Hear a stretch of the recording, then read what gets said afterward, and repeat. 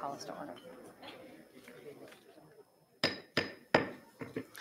I call this meeting of the Schertz-Cibolo Universal City Independent School District to order. Let the record show that a quorum of board members is present, that this meeting has been duly call- called, and that notice of this meeting has been posted in accordance with the Texas Open Meetings Act, Texas Government Code Chapter 551. The time is 6:01.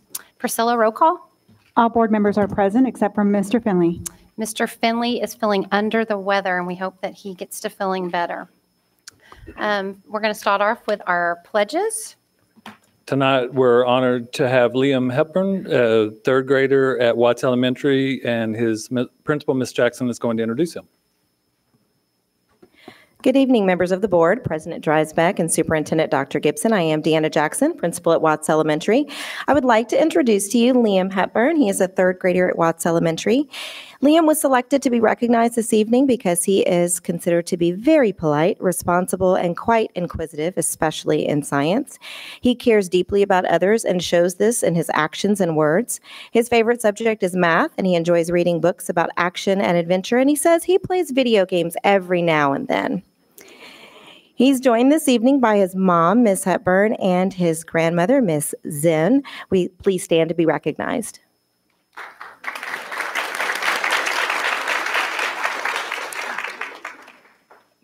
At this time, Liam will be leading us in our pledges this evening.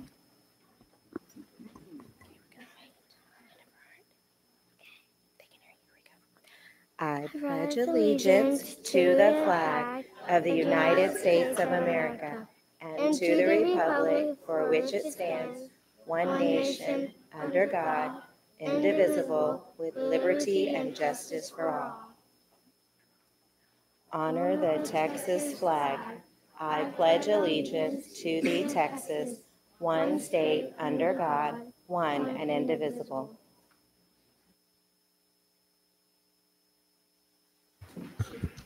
Thank you, Liam. I Want to welcome all of you here today. I see we have a full crowd. Um, As we start off our board meetings, our first one for the year 2020, halfway through the school year. Um, It's somewhat sad tonight as well because this is Dr. Gibson's last board meeting that he will be over. Um, So we've had a wonderful 10 years with Dr. Gibson. I met him as a parent probably, gosh, six, seven, nine years ago. Uh, and then have served um, on the board with him for um, for about almost four and a half years. And so um, I see Mr. Ricks in the audience, who was one of the board members that um, came um, that helped bring Dr. Gibson here. And we have a few others on the board that are with us, um, Mr. Inman and Mr. Pivoto, that brought him here 10 years ago. And what a great service he's done for our district. We're going to miss him um, truly. And we're going to invite all of you in March. Um, we'll have it posted. We're going to have a reception, a come and go for Dr. Gibson. And we encourage all of you to come and wish him farewell in his retirement. So let me, I'll, so that we can just get this over with, okay, right up front. Um, 10 years ago, I made, uh, was trying to decide, we were going to consider a move. Our kid, older, younger two were going into high school. So we're, I just told Otika, if we're going to, you know, change, you know, now's the time to do it before our kids go into high school. So I said, just pick, you know, pick an area. So she, uh, look, this was actually open and New Braunfels was open. Some, Mr. Ricks probably remembers that, Mr. Pivoto, and Mr. Inman. And uh, Tate overheard us, my middle child, and said, you need to go to one of those two because Schlitterbahn and Fiesta Texas are right down the road. Um, we didn't choose it for that reason. Um, um, but I can tell you that I, if I ever had any doubt in my mind, when I met George Ricks and when I met Scott Herod, that doubt was gone. And I knew it was the right fit for my family. And I want to thank you, not just as a superintendent for the opportunity to work here, but as a father who y'all helped me raise uh, two kids. Uh, the other one was already through, uh, had graduated when we came here. And then I'll just, I'll tell you um, what I told the principals today that um, I was trying to find some profound quote, you know, to wrap things up, and I couldn't find prof. Well, maybe it is profound, but it's Winnie the Pooh, so the elementary. But Winnie the Pooh said, uh, "Think about how lucky I am to have had something so special that I'm sad to see it go." And, you know, I was just going through my list, and when I saw that, I thought, okay, it's Winnie the Pooh. Winnie the Pooh is going to be my quote. So I am, I, I, and I believe in that. That if you know, if I'm sad, it's because I was lucky enough to have been here in the first place. So thank you all for everything that you've done for me and my family. And this is my 452nd board meeting, and this is where I draw the line. So, not, I'm not uh, this is the last one, but thank you all for everything that you've done, and thank you for being here, Mr. Ricks.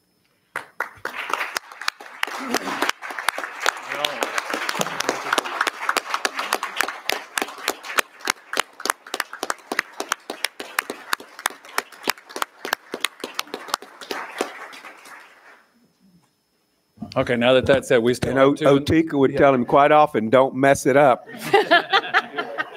You're, you are correct, sir. I'm not going to deny it. Okay, on to our Vice President's recitation of the district mission, vision, values, and priorities.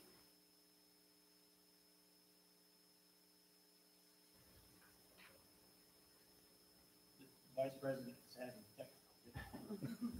yeah, we all are.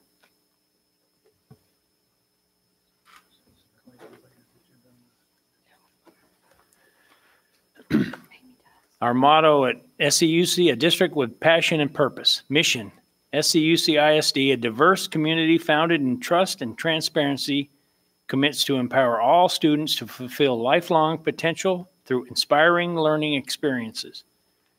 Vision is ins- inspire, innovate, excel. Values are leadership, character, commitment, service, and learning.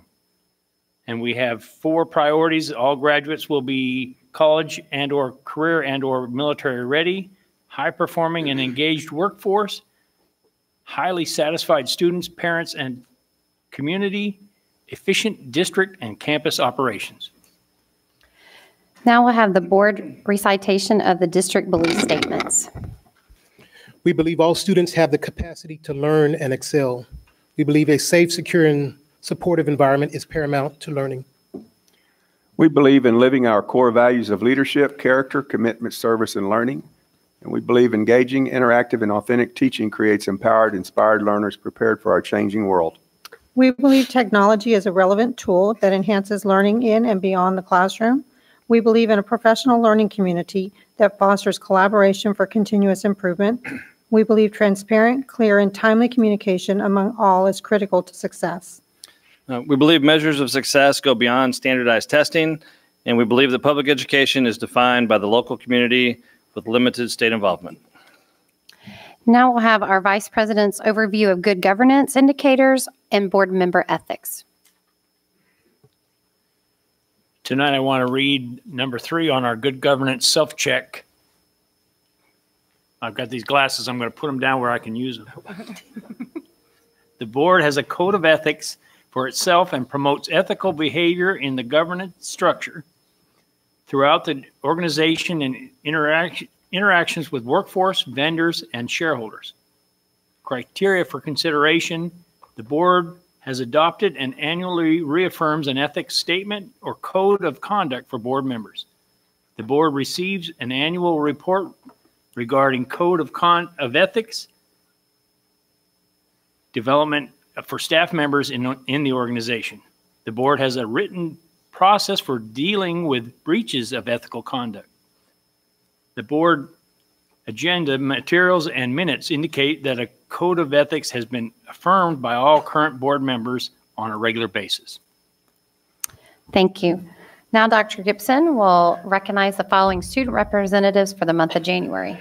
Yeah, it's my honor and privilege tonight on my final board meeting to introduce two uh, young ladies well deserving of being our student uh, representatives of the month. So tonight we have Emma Yahimovich, 11th grader from Clemens High School, easy for me to say, and Rosalia Flores, a 12th grader from Steele High School. And I think Ms. Zirzadi and Ms. Bandy are here to introduce them. And ladies, if you would, just you can go around and meet your uh, principals at the podium. And welcome, and let's go ahead and give them a round of applause for being.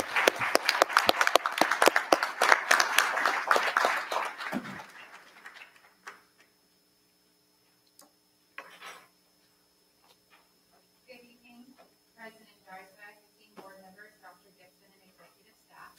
My name is Amy Sarazadi, I'm the associate principal for Clemens High School. Thank you. It is an absolute joy to introduce this phenomenal young woman, Emma Yahimovich. Currently, Emma is an 11th grader at Clemens High School. She has an 105.3 average while taking AP English, AP US History, and Honors Pre-Calculus classes. She is here this evening representing our Texas Association of Future Educators, or TAFE organization, as the current historian and outstanding member and leader of two years. As a TAFE member, she qualified for both for state both years and qualified last year for nationals.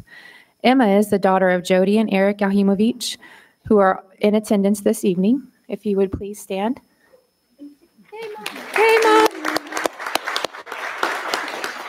Miss Wendy Frisbee sponsors TAFE and is here as well supporting Emma. Miss Frisbee, would you please stand? Emma is also well known as a super fan to all Clemens extracurricular groups with her entertaining musical stylings and performances at prep rallies and on Twitter. We are very proud of the spark she brings to everyone she encounters inside and outside of the Clemens community. It is my honor to introduce Miss Emma Yahimovich.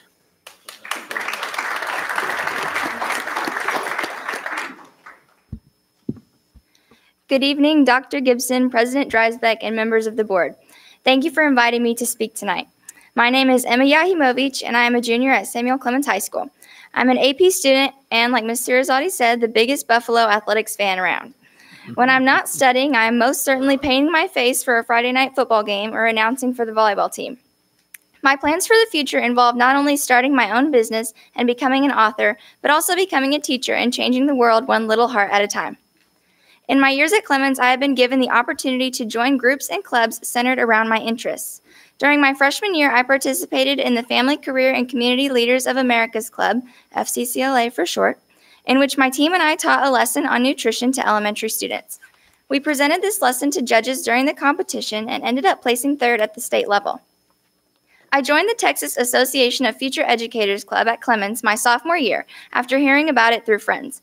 TAFE allowed me to meet my peers who have spe- the specific goal of becoming teachers. My first year, I competed at the regional and state levels for TAFE in two events. I took the Educational Leaders Fundamentals test, which quizzes the basics of being an educator and its ethics.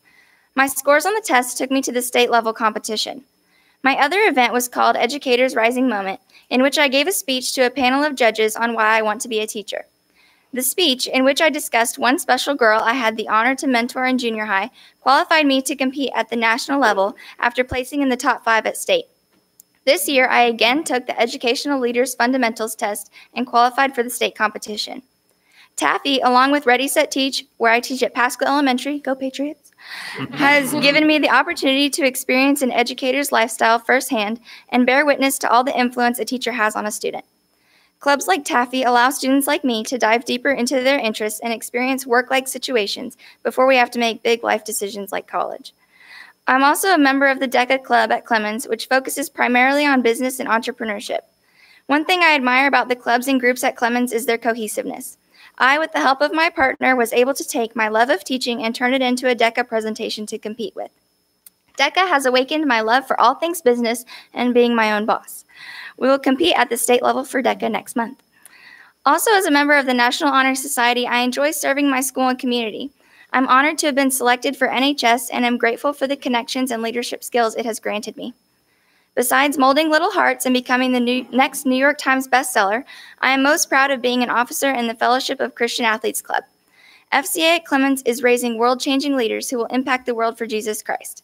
The freedom and ability to have such a club at school is something I am grateful for and do not take lightly. I'm so thankful to the district for giving me and many others the opportunity to participate in clubs such as these, which help make us future ready. The impact such programs have had on me is lasting, and I am grateful for the experiences I have been given through them. Thank you.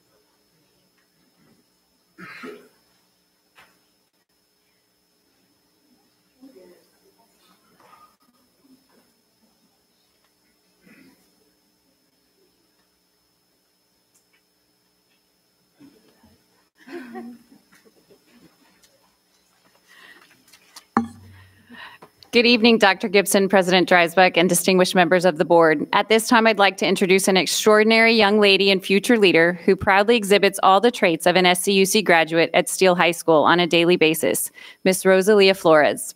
Rosalia is accompanied today by her mother, Lorena, and her sponsor, Miss Mahoney.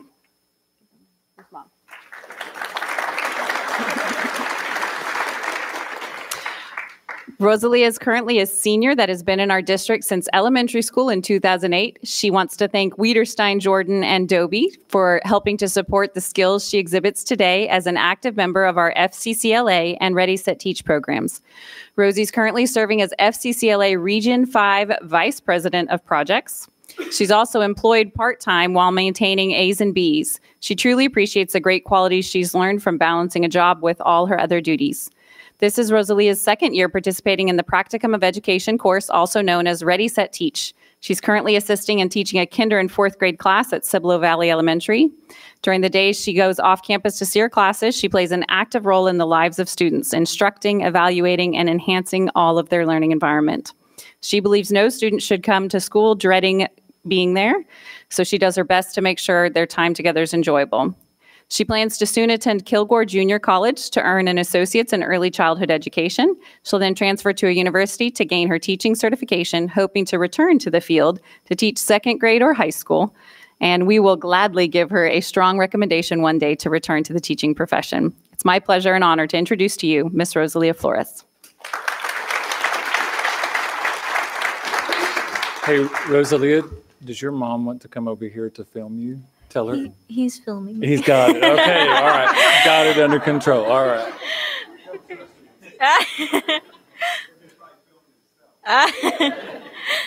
All right.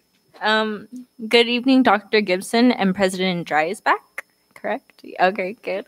Um, and members of the board. My name is Rosalia Flores. I'm a senior at uh, Steele High School, a second year practicum education student, and the Region 5 Vice President Projects for FCCLA. I'm here representing Practicum Education Program. This program allows for the opportunity of juniors and seniors to go off campus for elementary schools in our districts for two periods, four days a week, and assist in the classroom of elementary school.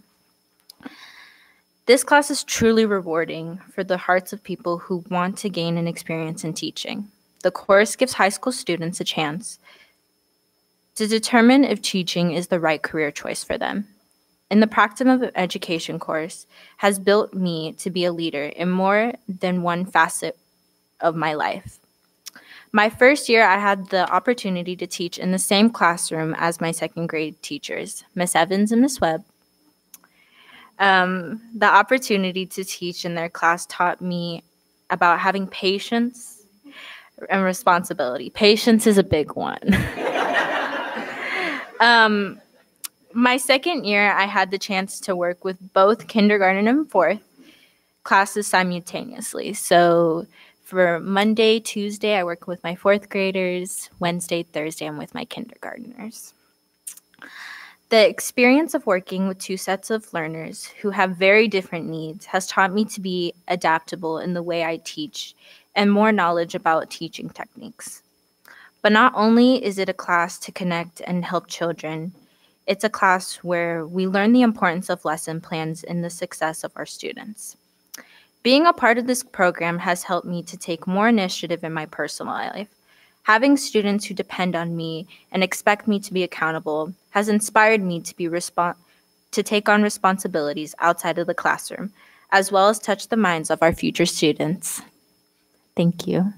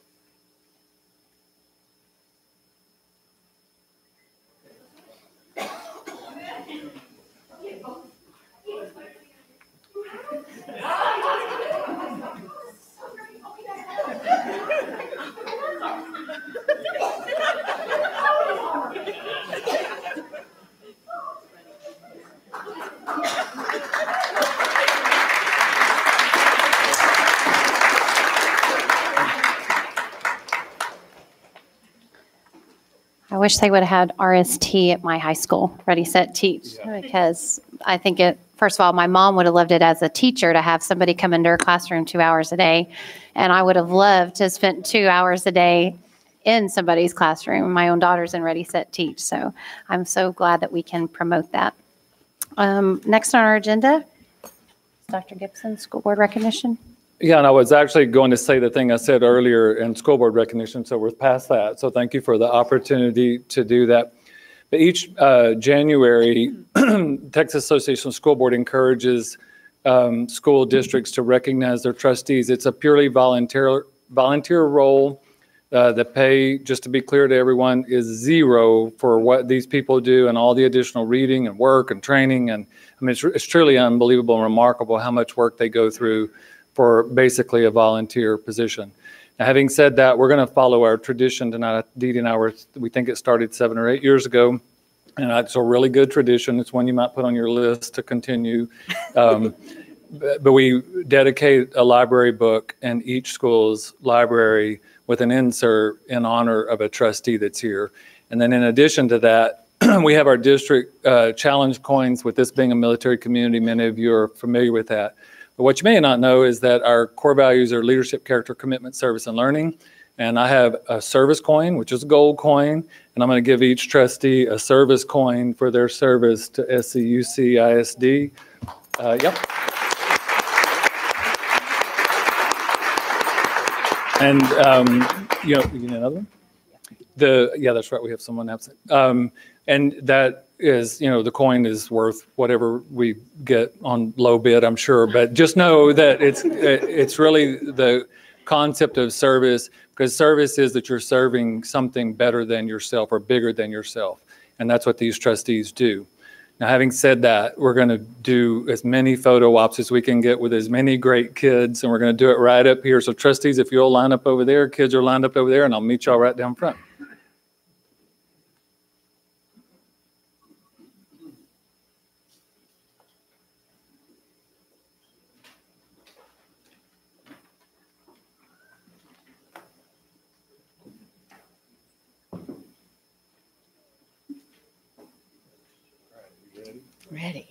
All right. First campus is Cibolo Valley. Principal Rhonda Young Michael. Our student this evening is Reagan Lee, who is a fourth grader. Their uh, library book will be donated to board member Robert Westbrook. Book title, She Persisted.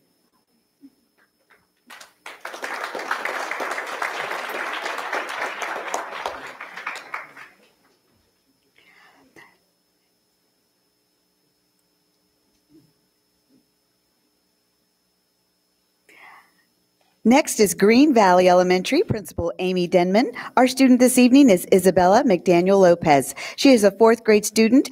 Their library book will be donated to Mr. Ed Finley.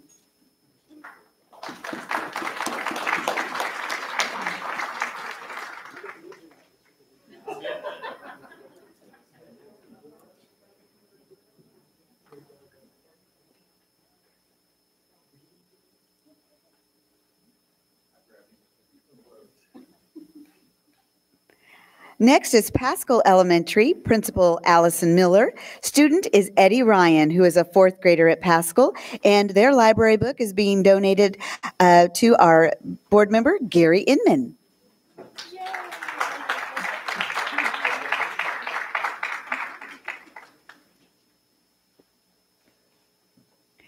Next is Watts Elementary, Principal Deanna Jackson. Our student this evening is Liam Hepburn, third grade student, and the board member library book will be donated to Amy Dreisbeck.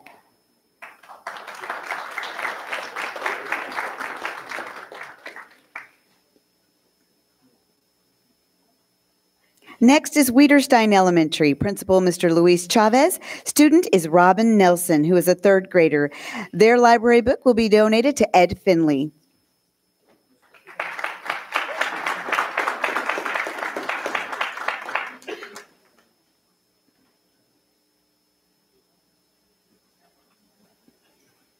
Next is Rose Garden Elementary Principal Cindy Ward. Student this evening is Brooklyn Heath, who is a fourth grader. The library book will be donate, donated to our board member Letitia Seaver.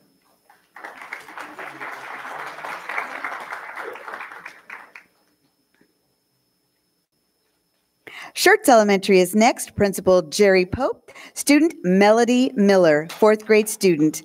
And the board member being dedicated this evening is Gerald Perkins.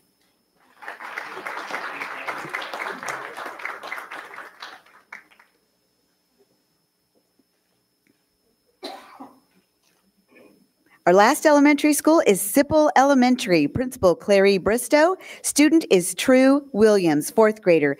And our board member being dedicated tonight is David Pivoto.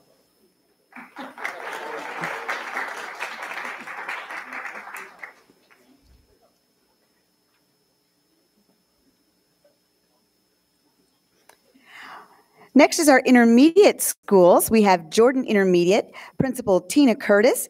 Student being recognized or going to be recognizing our board member is Stacen Taylor, who is a sixth grader, and their board member is Amy Dreisbach.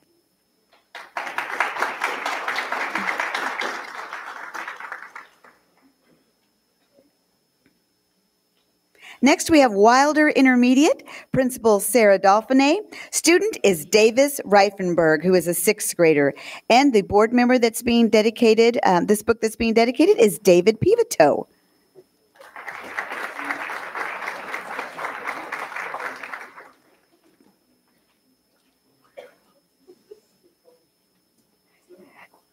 And our last intermediate, Schlather Intermediate. Principal, Yvette Ross. Our student is Bailey Painter, who is a sixth grader. And the board member library book that's being dedicated to is Gerald Perkins.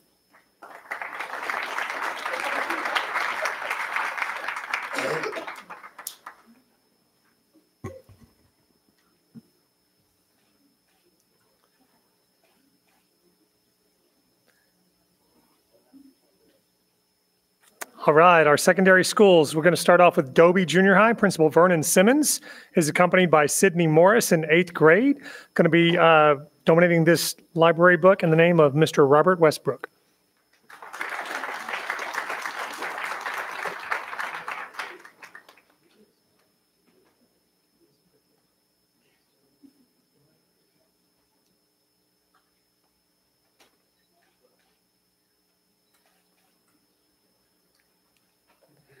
All right, next up is Corbett Junior High, being represented by Miss Renee Altamirano.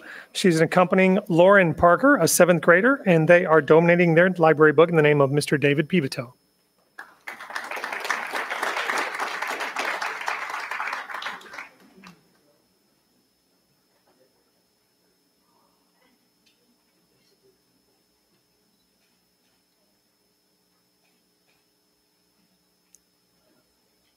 Okay, next up is Allison Steele Enhanced Learning Center. Dr. Lisa Newman is the principal, accompanying Zai Trumps. She is a 12th grader, and they are donating their library book in the name of Miss Letitia Seaver.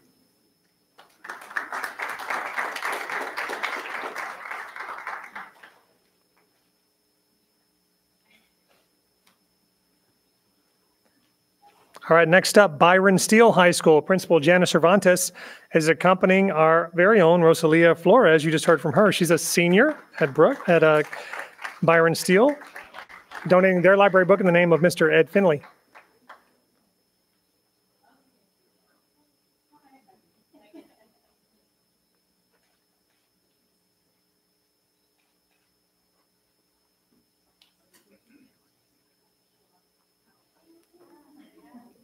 Okay, next is Clemens High School, being represented by Miss Amy Sirazade. She's accompanying our very own Emma Yahimovich. She is an 11th grader, and they are donating their library book in the name of Miss Letitia Seaver.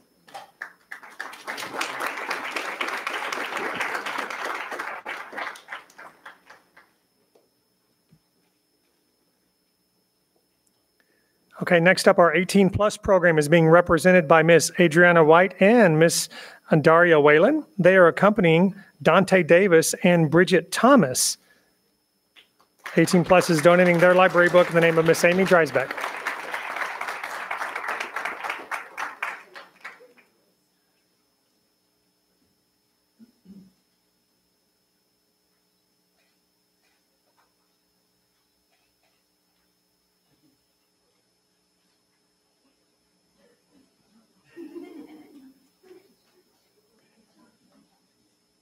All right, and our final library book tonight is being uh, presented by Miss Stacy Cerner from DAEP to Mr. Gary Inman.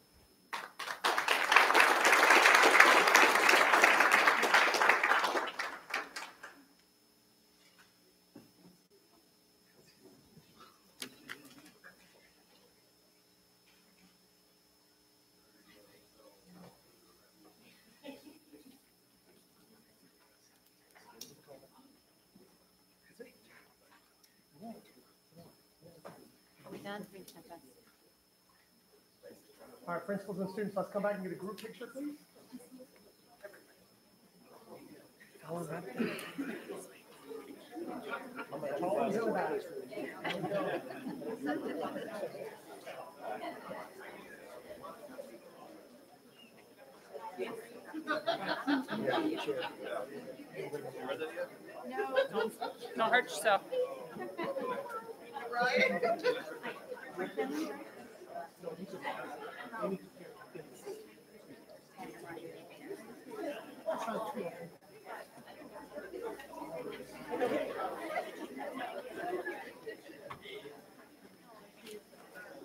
We're gonna have to, this is gonna be a scrunch. Guys, can we scoot in a little bit?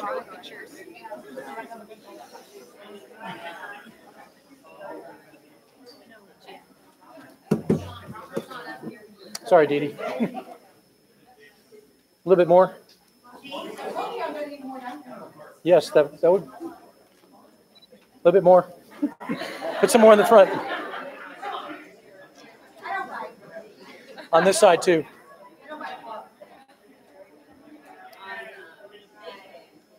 Yeah, you know, yes.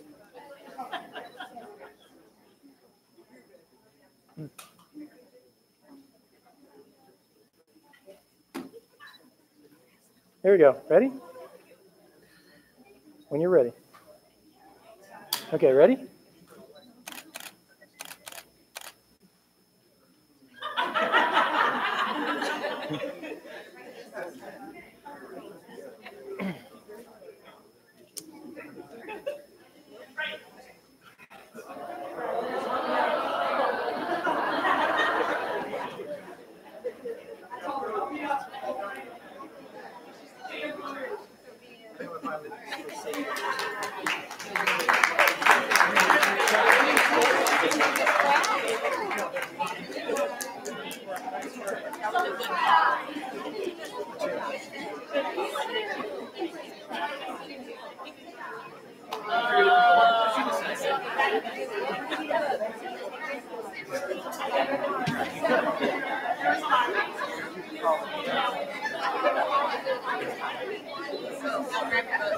Bring them back together. Next on the agenda is recognition of our principal representatives for the month of January by Dr. Limley and Miss Goldhorn.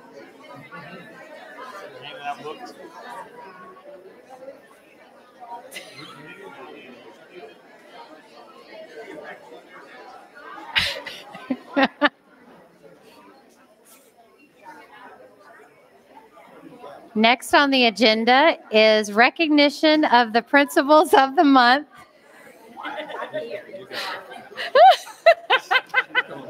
I was using my teacher voice. All right, good evening, members of the board, President Dreisbach and Superintendent Dr. Gibson. As Director of Elementary Education, I would like to introduce to you our elementary principal who is attending this month's board meeting. Deanna Jackson is the principal at Watts Elementary, and she has been in education for 16 years and 10 years in SCUC. A fun fact about Deanna is she is a boy mom who loves all things football and basketball. Her youngest is almost four years old and loves football already. And her oldest is playing in his first junior high basketball game at Dobie on Thursday night. Deanna Jackson.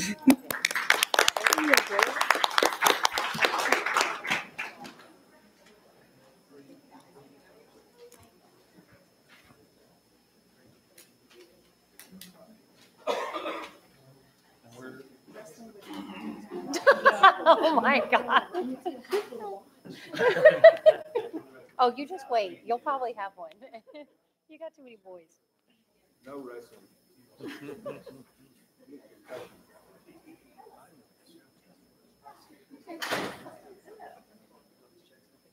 I know.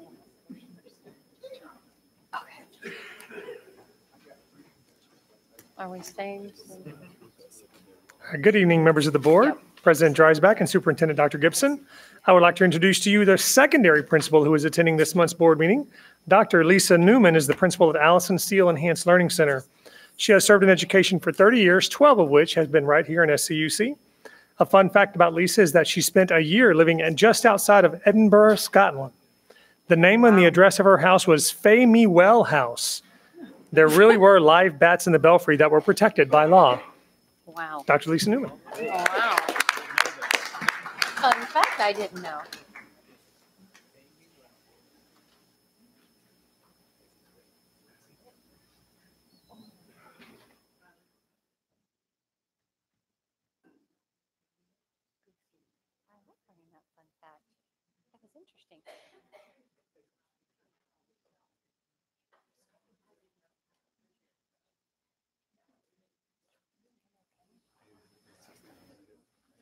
I like learning that fun fact. That was interesting. Oh, we got to take a picture. Gracious.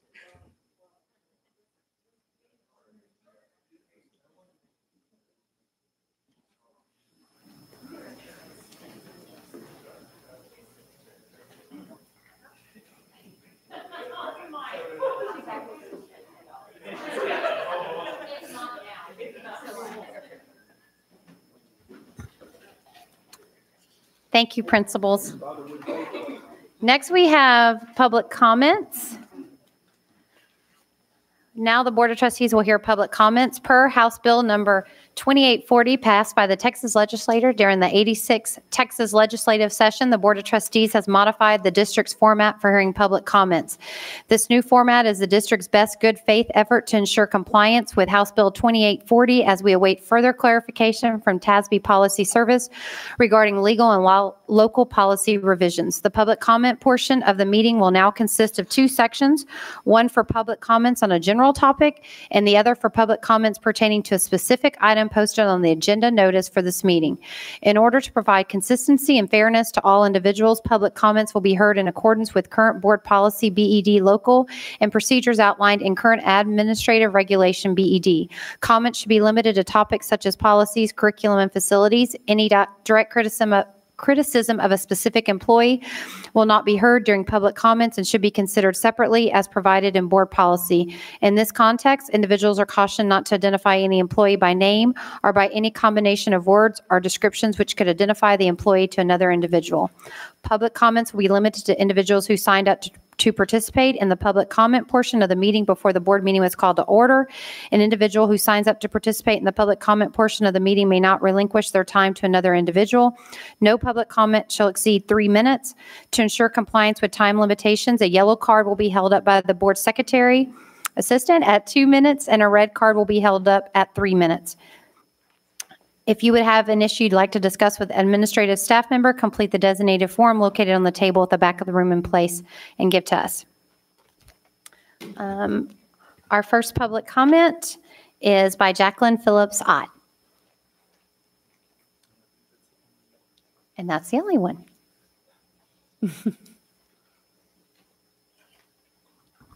Good evening, everyone. My name is Jacqueline Phillips Ott, and I am coming before you to introduce myself to you and talk a little bit about what I believe are some common goals of yourselves and myself. I am a prosecutor in Guadalupe County. I came over when we were in the district attorney's office, and we're now the county attorney's office, but it is the same thing. We still operate under felony and misdemeanor cases and some civil prosecution. I am running for district judge of the 25th Judicial District, which covers all of Guadalupe County, which is in the March primary. I have an extensive background in several different categories. I initially was working gang and narcotics when I got out of law school in Houston, in the Fort Bend area. After that, I was in a civil practice um, with various things that included oil and gas, family law, juvenile law, juvenile mental health, different custody arrangement issues. And I was also an amicus and ad litem in CPS cases, assisting both um, forensic interviewers, CPS, and law enforcement in cases where children were endangered. After that, I went and I ran the CPS unit in Comal County, which is a lot of the same things, but on the government and prosecution side. When we had CPS cases, both in schools, foster homes, and et cetera, I would go out with CPS investigators and assist them in doing proper investigations so that we could make sure our children are safe. I ended up in Guadalupe County, uh, first of all, because my husband is part of a six generation family in Guadalupe County, so we are here to stay and very happy about it. But I also came to Guadalupe County because they began a program that was family justice centered around children and child safety. What that was is they wanted someone to head it, which was myself at the time, who had both criminal and civil experience in both the prosecution side and the private sector, to come and make sure that the information sharing and transfer was fluid between the state government, which is CPS, housed under their own category, and then county by county. So I do do on call and did do on call for several years for a variety of counties. I sit on a statewide board advising um, child safety both in the prosecutorial and private sector. We talk about how we're going to address pieces of legislation that are coming through and how it would be most effective as far as spending um, taxpayer dollars and training our personnel. In addition to that, um, I did do a lot of the felony cases when the child crimes arose to that level. So that's your typical sex trafficking, um, drug endangered children, anything that's exposed to gang activity, um, serious physical injury, et cetera. I have a mission and have always had a mission for child safety and education. I think it is absolutely imperative to the success of any community. So I'm happy to be in front of you today. It has always been one of my major priorities, will always be one of my major priorities.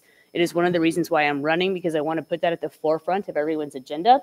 I have had a great time coming and helping teach some classes in your ISD through um, friends that are teachers doing courtroom testimony practice and just talking about different job opportunities for kiddos when they graduate so that they kind of know what's in front of them and would love to continue doing that. So I wanted to just introduce myself to you and tell you that those are some things that are very important to me. I know you wouldn't be here if it wasn't important to you as well.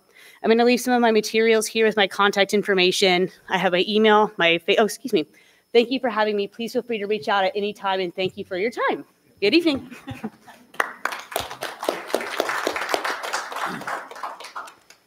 Thank you, Jacqueline. There are no other public comments as well? Okay.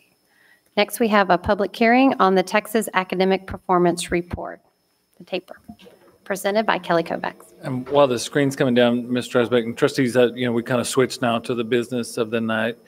The, um, not that that wasn't important, everything we did with recognition. Um, and I'll just, I'll note that we have probably a five-minute superintendent's update coming, and then probably a relatively short discussion item, but there are nine items on action tonight.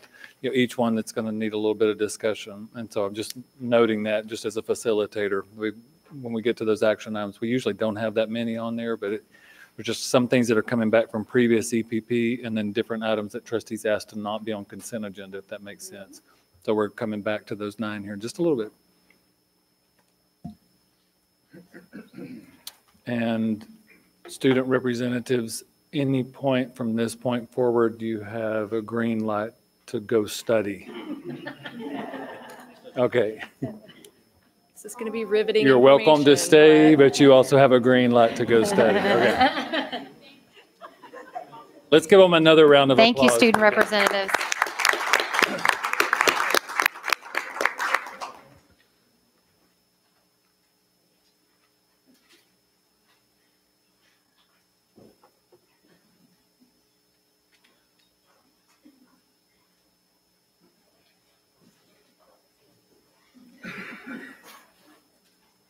Ready? All right. Good evening. I'm pleased tonight to be presenting to you the TAPR report or Texas Academic Performance Report. Um, this is a required report for the board and for the public to give some information about our district. This is the 2018-2019 report, which means that all of the data comes from the class of 2018 or the year 2018-2019. So what you're seeing tonight is actually about six-month-old data. Um, we've been working with this data for quite some time, but the TAPR report doesn't officially come out from TEA until December. And so this is our first chance to share with you what's actually in this report. A few things that we're required to um, talk about include our accountability rating, which you've heard before. We are a B for 2019, and our special education status is meets requirements for 2019 as well. When we talk about the TAPR, it is 26 fun-filled pages of information, um, everything from STAAR results to post-secondary readiness to staff and student demographics. So we're going to share some highlights and some areas that we'd like to continue to work on in all three of those main areas tonight and we'll share some data. There's a lot here though, and we really encourage everyone who's watching this at home or here tonight to view the TAPR report in its full 26-page um, glory. And so the there's a link at the very end of this presentation, and it's also going to be, it's already actually posted on our district website as well, so you can re review the full TAPR report at your leisure. Um, so again, our accountability rating for 2019 was a rating of B on the A through F accountability. You can see some other information there as well, including STAAR performance and school progress. We're going to talk a little bit about some of those in just a moment. We also need to share with you the campus ratings and distinctions. Again, there's quite a few, um, and this is information that has sh been shared at a previous board meeting, but we wanted to make sure that we included it in this report as well. So let's get into a few STAAR results. Again, this information is a little bit old. Um, it's six months old almost for us. So we've been working with this information for quite some time. And along the way, I'll probably share with you some of the things that we've been doing already as a result of this information. But a few highlights from STAAR from 2018-2019 include all grades, all subjects. That's taking all of our third through 10th grade, 11th grade results in all subjects and putting them together. And the, in that, um, when you look at it from that venue or from that aspect, the SCUC results are better than the state in all areas of passing, approaches, meets, and masters. Another highlight is eighth grade science. That passing rate increased eight percentage points in just one year. So we're very proud of that. And then school progress, which is a measurement of how much our students grow from year to year, um, was high in both fourth and fifth grade math. Our fourth grade scores jumping 4% in one year, and fifth grade math jumping 5% in just one year. Some areas that we would like to continue to focus. Uh, one of them is reading. We've been talking about that for a little while with you guys, including um, just the information that our scores at most grade levels are pretty flat or slightly decreasing over the past three years. That's true for the state as well in many of the grade levels, although they have seen some gains in some grade levels. Fifth grade science is another area of focus for us. It's been decreasing slightly over the past three years. This year is the first year that we fell below the state average in fifth grade science, and um, their scores have been pretty flat. It's just that ours have been decreasing slightly. This is something we've been working on, and it's one of those things that I'd like to highlight that with fifth grade science, we have some changes this year happening since we have this data, and we've known that this has been in place, including instructional minutes for our elementary schools that include 40 minutes of science every day for kindergarten through fourth grade because we know that fifth grade science teachers can't catch up all of the things that um, might have been missed. And um, we also want to make sure that our um, teachers have all of the curriculum that they need. And that fifth grade science curriculum was written last year. So this is the first year that they've had it in place. So we're hoping to see some gains in that area this coming year, this spring. So a few specifics. This is the overall. Remember, we talked about all grades, all subjects. This is a look at that for the last three years. The first three columns, just to orient you, are the state, the region, and the district. That's going to be the same on this slide and the next one. And the district uh, for 1819 is the blue. Or, pardon me, for 1819, the one that we're looking at for this past year is blue, pardon me. So you can see the state and region are below the district. That's the highlight that we just mentioned. And then a few specific student groups, uh, African American, white, Hispanic, and other. And you can see how those continue to stay above the state and region as well. This next one, those first three um, columns are the same, state, region, and district, but a couple of other groups, special education, economically disadvantaged, and English language learners. If you'll remember last year, we had a great jump with our English language learners at 54 to 73, and we were pleased to see that they continued to maintain that higher level of performance. This next slide is really about master's level. So students who reach the master's level, SCUC in 2019, this past year, is in blue, and the state is the gray. So you can see that we're above them in all subjects. Uh, the only one that is not true is writing. Priority one, as you all know, is really about our college and career readiness, as well as um, college, career, and military readiness. And 1.3 specifically is about reading. So we're going to look at our reading scores for grades 3 through 10.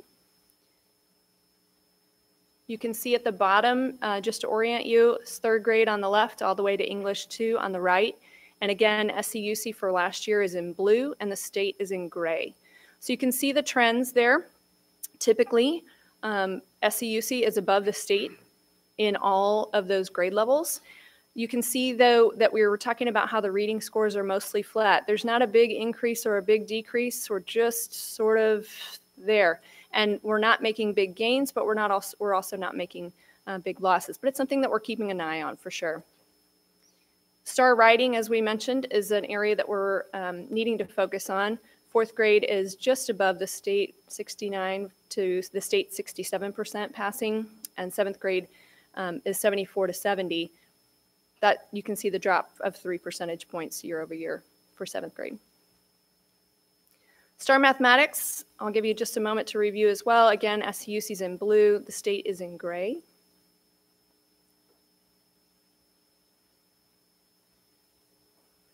And then science, similarly, um, that test is only offered at fifth grade, eighth grade, and biology, so we have less information there. You can see a nice jump in that eighth grade score, which we highlighted for you as well.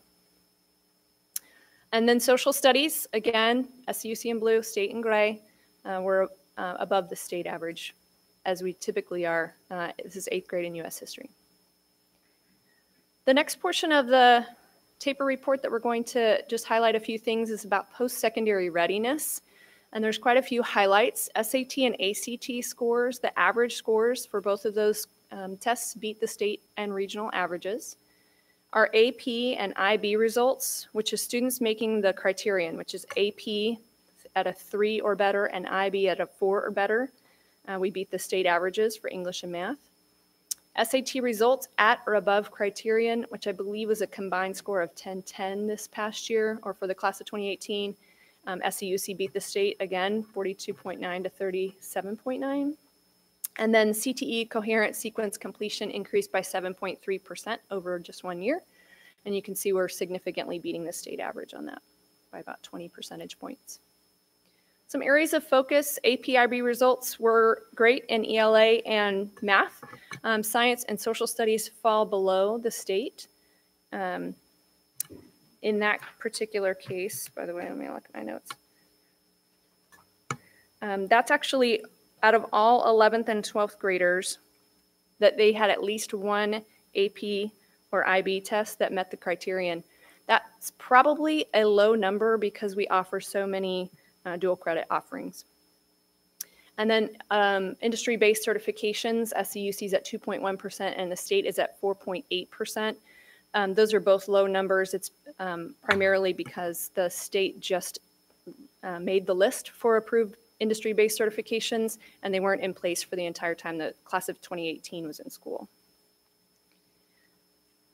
So priority one also talks about that college career or military ready. And so we're going to just take a look at um, what the state defines as college career military readiness and our completion rates. So for the class of 2018, it's in blue. The state for the class of 2018 is in gray, and you can see we're just below on that. The criterion for the state includes all of these things. So college ready includes the three on an AP or four on an IB exam. There's some TSI criteria for entering college, SAT and ACT, dual credit, earning an associate's.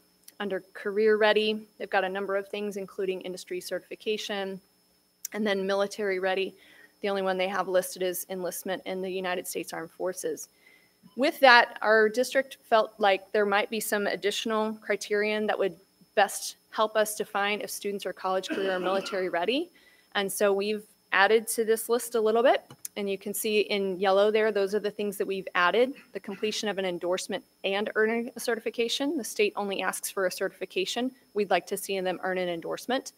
And for military ready, we also added if they've taken the ASVAB and scored a 31 or better, or completed junior ROTC, or have been accepted into an ROTC program at the university, we're considering them military ready.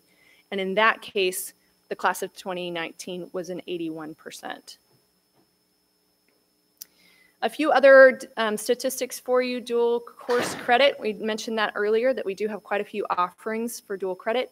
We had 21.3% of our annual graduates who either earned, nine or more credits in anything for dual credit or three or more hours in ELA or math. CTE coherent sequence also um, is in the upper right-hand corner. That's the coherent sequence with the industry-based certification. That's 30.8%.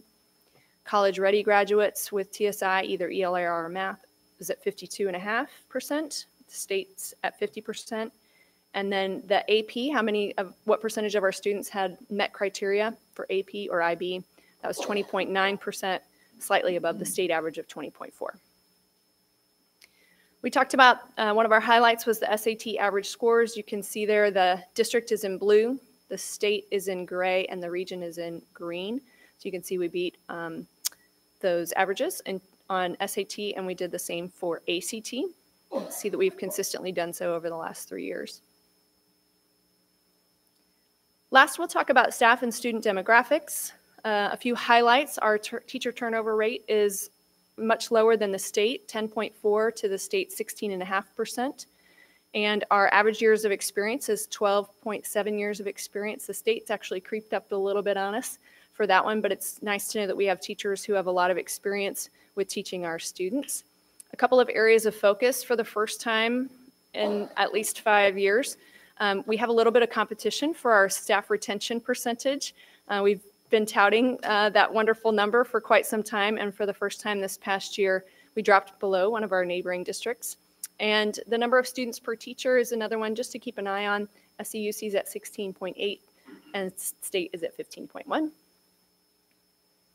Um, another requirement that we need to share with you is the ratio of counselors to students.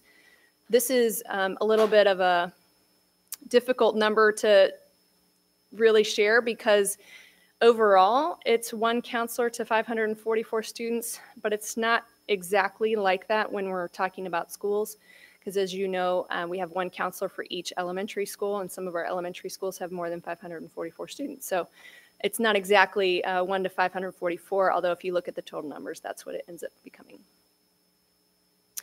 Um, we'll look over at the teacher turnover rate. You can see consistently we've fallen well below the state. That number is creeping up just slightly over the last three years. Um, this next one is really about our region, and this is where I'll point you to this last um, area over here. This is 2018, 2019, and you can see we were at 10.4%, and for the first time in quite some time, Northside beat us at 9.8% turnover. So we've um, got a little bit of competition there perhaps for that.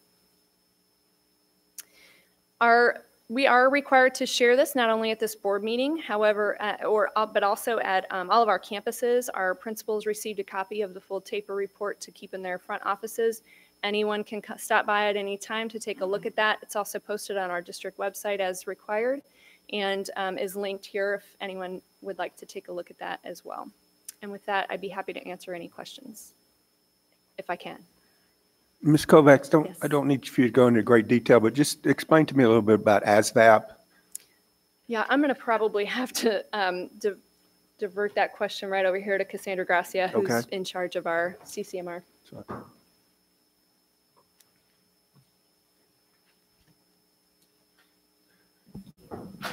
So the ASVAB is the test that the students take uh, if they are interested in going into the military. Now, we offer the ASVAB at both high schools um, twice. Uh, They are not required to go into the military. It's a great battery of tests to help them determine um, where their strengths are and their, and their interests. And they have to have a certain score to go into a particular branch. We chose 31 as the number because there are actually three branches they can go into with a 31. Others obviously require a higher score, but that, that's why we chose 31 on the ASVAB.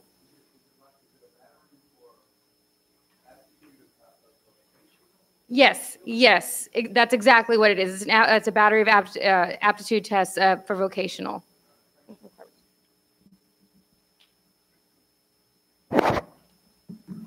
Other questions? I do have one other Okay. question.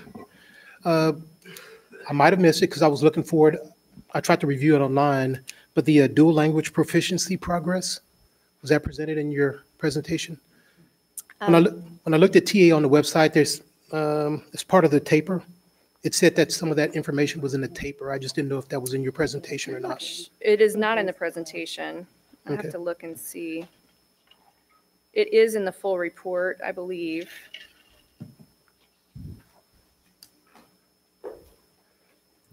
That's right. I can look through the, I looked through the TAPR. It's just, there were a lot of numbers. I just thought, well, I'm not the subject matter expert, so I left that to Dr. Edwards and yourself. I actually think it's the English language learners rather than the dual credit. Did you say English language learners? Sorry. Yeah, there's something about dual language proficiency, proficiency progress. You know what? You can send it in board updates. You don't have to do it now. I It's- will. it's I'll be happy to do that. I, I know that it, um, it's on the results-driven accountability for Okay. sure. Um, I'm not sure if it's listed in here in that way. Okay. So it may be on a different report. Thank you.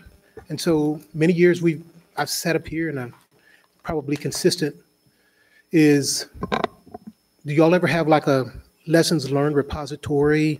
Like you go back, so what lessons did you learn in 2013, 14, 14, 15, 15, 16, and see if they're repeating themselves or not, or? Right. mean- well, I've only been here a year and a half, so I can't, I don't know that I can speak to that piece, but I will say that every year when results come out, we spend um, quite a bit of time, not only in the summer um, with our leadership teams, but every leadership team then also works with their campus to take a look at the data and also take a look back and say, what have we been doing? What's working and what's not working? Um, this year, we've really tried to incorporate more, even more. Um, what are other campuses doing? Those who are performing well, share the share the wealth. We want to all know what you're doing so that we can try to take pieces of that and use it with our staff and with our students. So I can't speak to several years for, ago, but Well, I would say during, um, as, as Ms. Kovac said, we have several mechanisms to do that, certainly with our principal PLCs. Just today, as a matter of fact, we had one of our principals share out some of the things they're doing on their campus to look at their results and determine their growth, uh, and monitoring their student growth. So yes, there's a, I don't know if we can hand you a manual that says this is how we, this is how we do it all the time, but there's constant sharing with principals. That's part of their work in their, with their, uh, within their CIP. Um, And this last year was part of the significant work with our elementaries with the Effective Schools Framework template that they used. Thank you. Ms. Kovac, do we consider the communities and schools site coordinators on campuses when we're Mm. counting counselors? Would it be, could we argue that that number isn't as bad as it looks? I would probably again defer to Cassandra Gracia. They are not included in the 29 number for sure.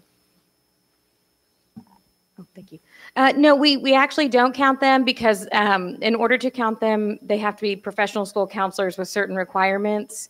So there's a whole list of requirements for them. bec- Yeah, so we do not count them. Anybody else? I had one um, question on the high school data um, were the college career readiness. Um, I know y'all went back and looked at 2019's and, you know, gave them some different criteria, but they use on that TAPR report, that's the criteria they're using for those letter grades for the schools, aren't they? Correct. Okay. That's correct. So it's not that we ignore what the state has given No. us, certainly. It was just additional information Right. for you all. No, no, that's fine. I, I completely understand that, but I, I do know the rigid, the first one way is how they're going to, that's affecting their letter grade for each of those high schools. Okay. Anybody else? Thank you very much.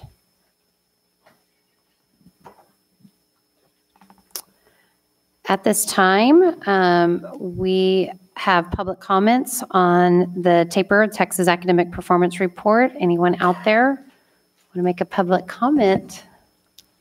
Please form a line down the middle. of the- Well, since no one has any comments on that, we'll move on to the superintendent's update by Dr. Gibson. Thank you, President Dreisbach. And just as a note, tonight was priority one, and you just heard it. And so I wanted to make a note on the agenda, though, so anyone that was wondering, uh, we use the TAPR report as our priority one report. The policy committee had asked for me to keep update 114 on the agenda. And instead of drilling into the large, the long chart, let me just suffice it to say that we're continuing to work on, you know, the 150 cleanup items related to uh, TASB Update 114. But Dr. Edwards is going to give a quick update on four of those 100 that probably rise to the top as a little bit bigger chunks of work that we're taking on. So tonight, he's going to update us on four items related to HB3 and now TASB Update 114. Yep. So, and it's really just a, a real quick overview of four different, um, pretty significant uh, pieces from House Bill 3 from the, the 86 legislature that we're working on, um, either because they're going to have a pretty big impact on our district uh, moving forward, or because uh, potentially, and or because there are some some dates that we're due on that.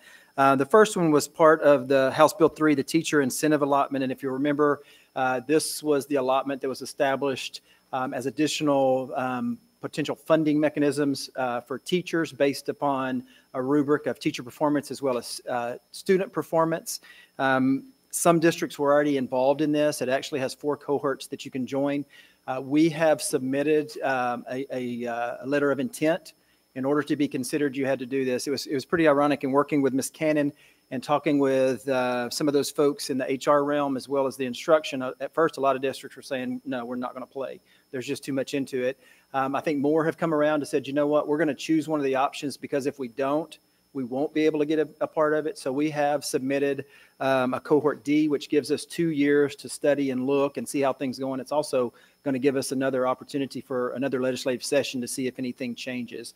So we have submitted our letter of intent. We will use the next two years uh, to look at our data and make some study and as well as get some information, some additional additional information from the state. And from what we're hearing, that is what most districts have chosen to do that weren't already involved in that in that part of the process. There were some districts that they used as the model. So that was just a quick overview that. We continue to work uh, collaboratively on that. Uh, the next one is also part of the House Bill 3 was related to the K, uh, K through 3 reading academies. Um, if you'll remember, this was part of it that they put into law that all of our K through 3 uh, teachers will have to go through a reading academy. Um, right now, it's based upon a a uh, 10 day, eight hour a day uh, format. We will use a, um, uh, um, I'm drawing a blank on it now, the, a blended model approach with the service center uh, being our provider. So they will come out and, and train our teachers. This will probably be a phase in for us because to try to train that magnitude of teachers, all of our K through three teachers, as well as the expenses that may occur, we'll use a two to three year phase in uh, for that. Uh, we've begun working and having conversations with our principals at our last two PLCs. Uh, we started having conversations with our elementary principals about what is going to be the most effective way to phase that in um, for our district. Uh, another requirement um, that you know of are, and that you'll, and again, we wanted to update because you'll hear- hear more and more about this, is our full day pre-K. That will be another uh, process that will phase in over the next few years. Uh, we are in the process, I know Ms. Goldhorn is working with the service center, and part of the requirement is that we identify uh, daycare providers in the area that may could help us with that service. Those are pretty limited is what we're finding now uh, for us as well as across all districts. So don't know how much of an option that's going to be. So together in working with finance, HR, um, instruction, uh, and now drilling that down into conversations with principals, we'll start developing what that phase-in model would look like. That's going to have a pretty significant price tag to it because when you think about that, we're going to be adding pre-K teachers and aides uh, as well as instructional um, materials and things like that at every campus. Uh, again, just wanted to give you updates. And then the next one has to do with the board required goals um, that were established in House Bill 3 with college career military readiness. And this says uh, K through re- 3 reading. It's really third grade reading and math uh, performance and growth on the STAAR. It encourages encourages you to look at K through 2 in those two areas as well, which um, by our scorecard, uh, we've already started that process with goal 1.2. So we're in the process, and I've had conversations with Dr. Ely as well as several of others have about moving forward with this, certainly with Dr. Gibson, but um, where we're going to go as a district. And we're going to start off with our scorecard, take a look at that and what components in that already align, and then what would we need to modify, what would we need to add in order to bring that back as a recommendation uh, in working with our board to approve those board goals, as well as the plans that go along with that. So uh, we shared with uh, with uh, Mr. Asbeck and Mr. Perkins um, at our last Friday meeting and wanted to come in and just kind of share with you guys. Here are some Uber things that we're working on, that it's on our radar. We're working together as a district as well as now drilling down into some of those uh, with the campuses, and you'll hear more about this as we move along. But we just wanted to, to put those on your radar and let you know they're on our radar as we move forward.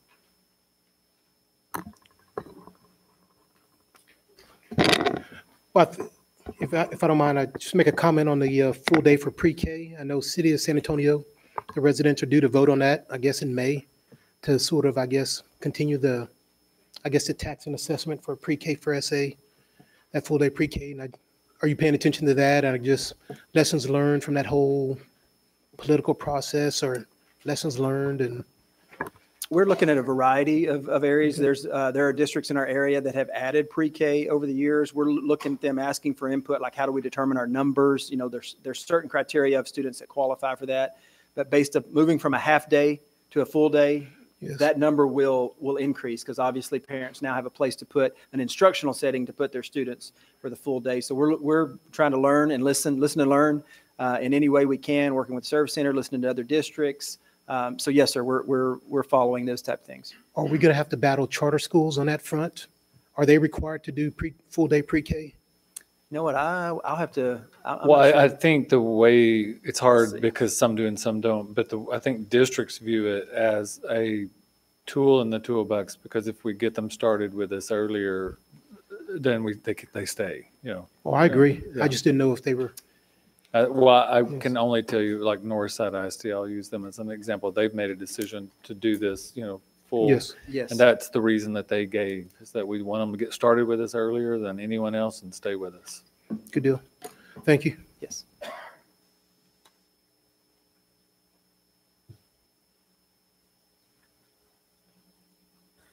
And I know some people in the public want to know, well, what schools and all that fun stuff, but as soon as that's determined, um, we will definitely release that information to the public so they can plan accordingly for their pre-Kers next year. We- We're going to make sure that we do our due diligence and thorough analysis, um, especially as this is probably going to be a two to three-year implementation for our district. So we'll, we'll look at a variety of things as we, de- as we, as we make that determination, as well as working with our, again, with our campus principals on that. One of the things that, you know, you may hear other districts that are saying we're in and we're going, there's a really good chance that the districts that are doing that had open space. That, I mean, it's literally sitting vacant. So it's like, okay, we have something to fill that vacant space. We are not in that situation. So we'll have to do a gr- graduated to get there over time. Um, I think JD was, stayed quiet for the first meeting or two and then finally said, and where are these new full-day pre-kindergartners going to go? Which was the right question to ask. Yes, So we'll, ha- our- we'll have to have a graduated plan is really the bottom line to Yes, get sir. there. And, and that's part of, it's a, it's an ongoing agenda item in our, with our facilities meeting, with our finance meeting, with our human resources meeting, um, and working with the service center again from, and, uh, Ms. Goldhorn taking the lead, working with the service center on identifying, you know, what are the steps we need to take, and, and it's, it's, it is going to be a significant impact on our district. Yeah, so one, I would use that as a segue. I just distributed Mr. Pruski's budget parameter memo, and if you'll flip to the second page, because you- the board is, can ask for these items to be addressed separately under this update 114 or continue to do that, Ms. Dreisbach. I would just say you're also, if you'll look at number 11 there, that's where Wayne, you see the HB3 implications? So what Dr. Edwards was just saying about the cost and all of that, you can see these, if you look over to the right, costs are being evaluated. Here's a, no less than this, no more than this. That's all the things that they're talking about. They're constantly working on trying to get those costs out. So if you don't have them on the agenda as a separate item, you're going to get them in budget workshops. I guess that's my point, because as we learn more and more and more, these numbers will get tighter and tighter and tighter. So that's a good segue over to Mr. Pruski's budget parameter memo, if everybody's good. Uh, Quick update. And by the way, we- you have a workshop on February the 4th, so we don't have to do all this tonight. He's just Right. giving you some information before that workshop. So this is just the, this is the January 21st version. You'll see the draft up on there and uh, with the assumptions and considerations and budget implications uh, throughout the columns. Uh, Just wanted to remind, and I can do this uh, verbally without going through everything on here, but you'll see through here some of the things that we're used to seeing in previous parameter memos. The tax value growth, the M and O, we will be compressed again um, coming up, so we will have that. Some options that are there, number five, the, the board vote for one penny, uh, TRE info. Uh, But then, as Dr. Gibson was alluding to, uh, we are currently working on future staffing and staffing requests and have broken that down. So I'm at line seven. And it'll go into, it'll kind of bleed over into um, row, I should say, row eight then, on the second page, top of the second page. But I want to, there, we broke it down into four groups. You have basic services, which are the immediate needs for growth. So teachers, transportation, child nutrition if needed. Um, You heard about that with the teacher part, with the pre-K, so that's going to be a piece there. So we will be adding some teachers for the pre-K part. Um, Other campus services is the next group, and those are per staffing guidelines. So the, like what you heard earlier, uh, the counselors, principals, assistant principals, tho- those natures that are staffing ratios. Uh, Next one down is enhanced services. So that's if we want to increase the number of custodians throughout the district for service ability there. Uh, GT coordinators, an example, instructional specialists, technology specialists. So those are the support parts there. Um, and then the bottom line, the bottom one is the ideal staffing. So out of all the requests that are out there, uh, t- is approximately $6 million in staffing requests. So is that, that is when you add basic, other, enhanced, and ideal all together? That's all in, all done. Okay. So now I'm going to go backwards. So we're projecting, at today's projection, we're kind of in a range of about a million dollars. It's about $972,000 for the increased revenue that's available to the board, or to the district, I should say. And then on the other end, we have about 2.2. So we have a small window there. Without that penny? That's without the penny, yes, sir. Okay. So if you just take, let's just say for the sake of today, we say $2 million. Well, if we have $2 million, and then you have the staffing um, situa, requests, or however we want to staff that, and then the question of the raise, it's a, it's a million dollars per percent. So if we have 2 million in revenue, and for basic services, we kind of already know it's about $520,000, And that's row seven. and that's row seven. Okay. So now you're down to 1.5. So that's 6 million minus that five, whatever. It- So four and a half million, uh, or five and a half million rather, is the value of other enhanced and ideal. Right. And then you'll, you'll tighten those up. Right. As the spring progresses, so that then you know what other campus services equals and what enhanced equals, and then what ideal equals. Exactly. And we'll have that running total. So if you have 2 million, you take off the basic services, that's a half, a mi- that's a half a million, so now you're at 1.5.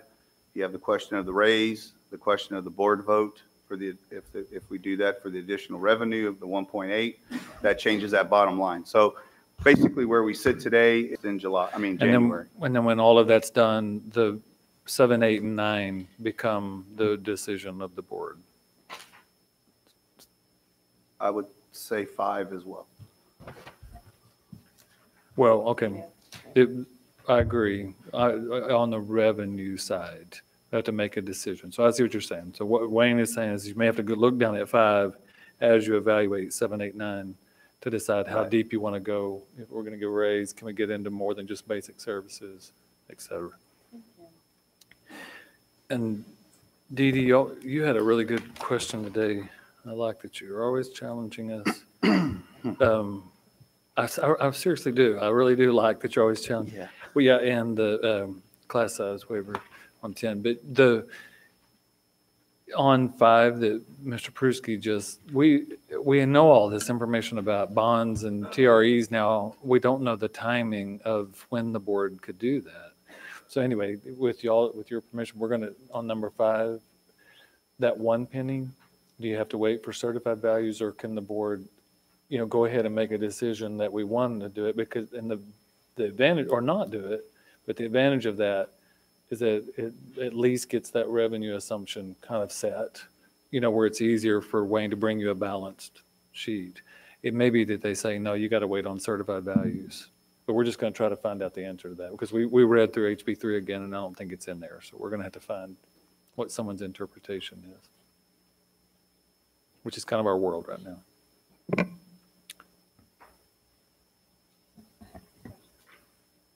No, What, what were you just asking about? Number five. board? Yeah, it's just when can the board actually just when? consider that? That's all I was saying. Like, do- could you have to wait until July? Yeah, And exactly. what, the, what brought that up is that we try to get a lot of this work done ahead of time so that you don't have to make Yes. these huge decisions in July. But then we, DDS said, well, what if you have to wait until July? You know, what, what if the law says you have to wait? Just to add to it, we, it may fall into the line of the truth and taxation process to where that may only be available. And we're verifying this. We're, we've asked some questions today and we got a lot of questions back at us and no answers. But it may be, you may have to wait till when you're adopting the budget because that's when you do the tax rate. So the earliest you could do it is in the proposed tax rate in July for the, discussion item. So if, it- worst case would be to line up with the tax time and with the budget time would be August, and if you back up to the discussion of that, that would be July, I think is what the truth and taxation piece could be. Now, we don't have any formal definitive answer to that, so I'm awaiting further assistance on there. So as I know, I can inform the board as well. And so one, one of the, maybe the takeaways from the February 4th is having a discussion about that one penny. Because, and it's not a vote, but just consensus, like Wayne, don't even look at it, okay? Or Wayne, keep looking at it and keep bringing us information. You know, just one, he just needs to know one or the other. That's a good so Wayne, question. On, on the one penny for number five, uh, you have the word unanimous there. for uni- Is that a requirement or? Yes, by law, at that meeting, unanimous vote. by- Well, it's Yeah, so everybody are that present. Present present at at the a duly meeting. called meeting. And so you could have four people here, and you, it just has to be all four. So I guess if you're going to vote no, stay home, or come vote. I mean, that, it's really, that's your choice. That's what the state's saying. And, and that's just for one penny max. I mean, there's, there's no two pennies, three Correct. pennies, it's They- just one what- penny. and that's Part it. of the HB three trying to give a little additional meaningful discretion. Right. i.e. courtroom, state courtroom, beyond TRE was they gave this extra penny that just said you just got to do one board vote and you can have that. And that, that gives a little more discretion. Wow. Gave a little more wiggle room on the districts don't have meaningful discretion. Wow, okay. And, and on the enrollment, um, I don't think we've had a in-depth demographic report lately, but just, it just, you know, so you're looking at the numbers here, possibly anywhere from 75 students to, okay, it's coming, okay. okay. Um, so you're looking at 75 to 100 new students coming into the, uh, just driving around that just seems impossible, but just. It's, well, to answer the first part, the most current demographic report will be done at the next CCAC meeting, which Okay. is scheduled for February 13th, I believe. And that'll be the the update. What we're getting from preliminary reports is the low growth model for this upcoming year. What you're seeing may be a bubble for future years, but for this current year, coming up, I should say, the next, the next year, we will follow, we're- we're planning to follow the low growth on this. Okay, and I know, so you got down here also that COMAL open enrollment. Um, Do you know if Comal's made a decision on that yet? Because my understanding they haven't, so that's just kind of a projection that what if? Officially, there is no, there- they have not. Right. It's the word out on the street, so Okay. we're just following that very carefully. Okay, all right. Thanks. Any other questions? Okay, thank you, Dr. Gibson. Thank you, Wayne, for the budget as well. I know we're going to get it in-depth in a couple of weeks, so thank you. Any correspondence? I saw you, Dr. Gibson, passing that on. Yes, it was. Y'all have fun. No correspondence, Priscilla, Dee Dee, anybody else? No. Okay, report on um, board member participation, involvement in the high-level rounding district, community, or government events. Mr. Westbrook? I think I went to a basketball game, Steele versus Clemens, and that's the summary of my actions. Thank you. Go to, go back to, uh, before the, the, uh, holiday break, Christmas break, whatever you want to call it, break. Uh, I was uh, fortunate to be invited to, uh, Green Valley Elementary School to, uh, in a first grade classroom to, uh, be in charge of the reindeer food. And if so, if you need anybody or know anybody that needs a pro in reindeer food, I'm your guy. And also, uh, January 7th, uh, I attended the called board meeting uh, where we hired uh, our incoming superintendent. Um, Second time for me to be involved in that process. I was expecting for it not to happen while I'm still on my, on this, my final term on this board, final term on this board. Uh, But it happened. I think it was a, it was a great process, and I think we did, we did very well, you know? So, anyway, that's it. Final. I too got to attend the January 7th board meeting, call board meeting. I added to my salary, I tripled my salary now of, uh, I'm on the appraisal district. And the pay is every bit the same as it is on this board. And we had our first board meeting on the 8th. Northeast Partnership that week as well. And then uh, Communities and Schools Financial Committee, we had a meeting last week, and then this morning we had a Communities and Schools Board meeting. And the chamber luncheon today where they, Maggie drug Dr. Gibson up there and presented him a plaque and thanked him, and it- it was very nice, and, and everybody was happy that he was there. That's all I Um, So I sit on two community boards, the library board and the historical preservation uh, committee board. Uh, The library is going to be doing another book sale at the end of February. And the reason I bring it up is I know that the last time they did it, a lot of our English teachers ran over there and purchased quite a few of books for their classrooms.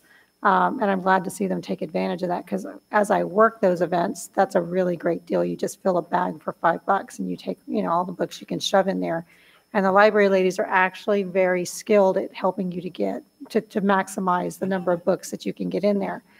Um, So that's coming up the end of February. And I wanted to mention too, with the Historical Preservation Committee, um, the last time I attended, and I think it was back in November, um, we had our history club, the Clemens History Club. They attended as well, and I was glad to see them attend. Um, And I think that's a great uh, community kind of collaboration that we do with them. Um, Of course, I've gone to wrestling. I know y'all love hearing about that.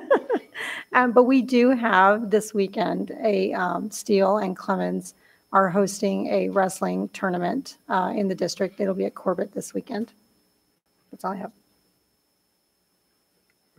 Uh, attended a couple basketball games, but uh, I guess the big event was the San Antonio Area All Star football game that they had down the Alamodome, and uh, Coach Johnston and the Clemens football staff was was picked to to lead. I think the the black team, Coach Lanoff, and um, they were losing most of the game, but they came back near the, the end there and won it. So I, I just thought it was a pretty uh, neat tribute to them. And I guess I assume they were chosen for, for having one of the best teams in the city uh, this past year, and it's certainly high profile for the coaching staff as well as some of the athletes.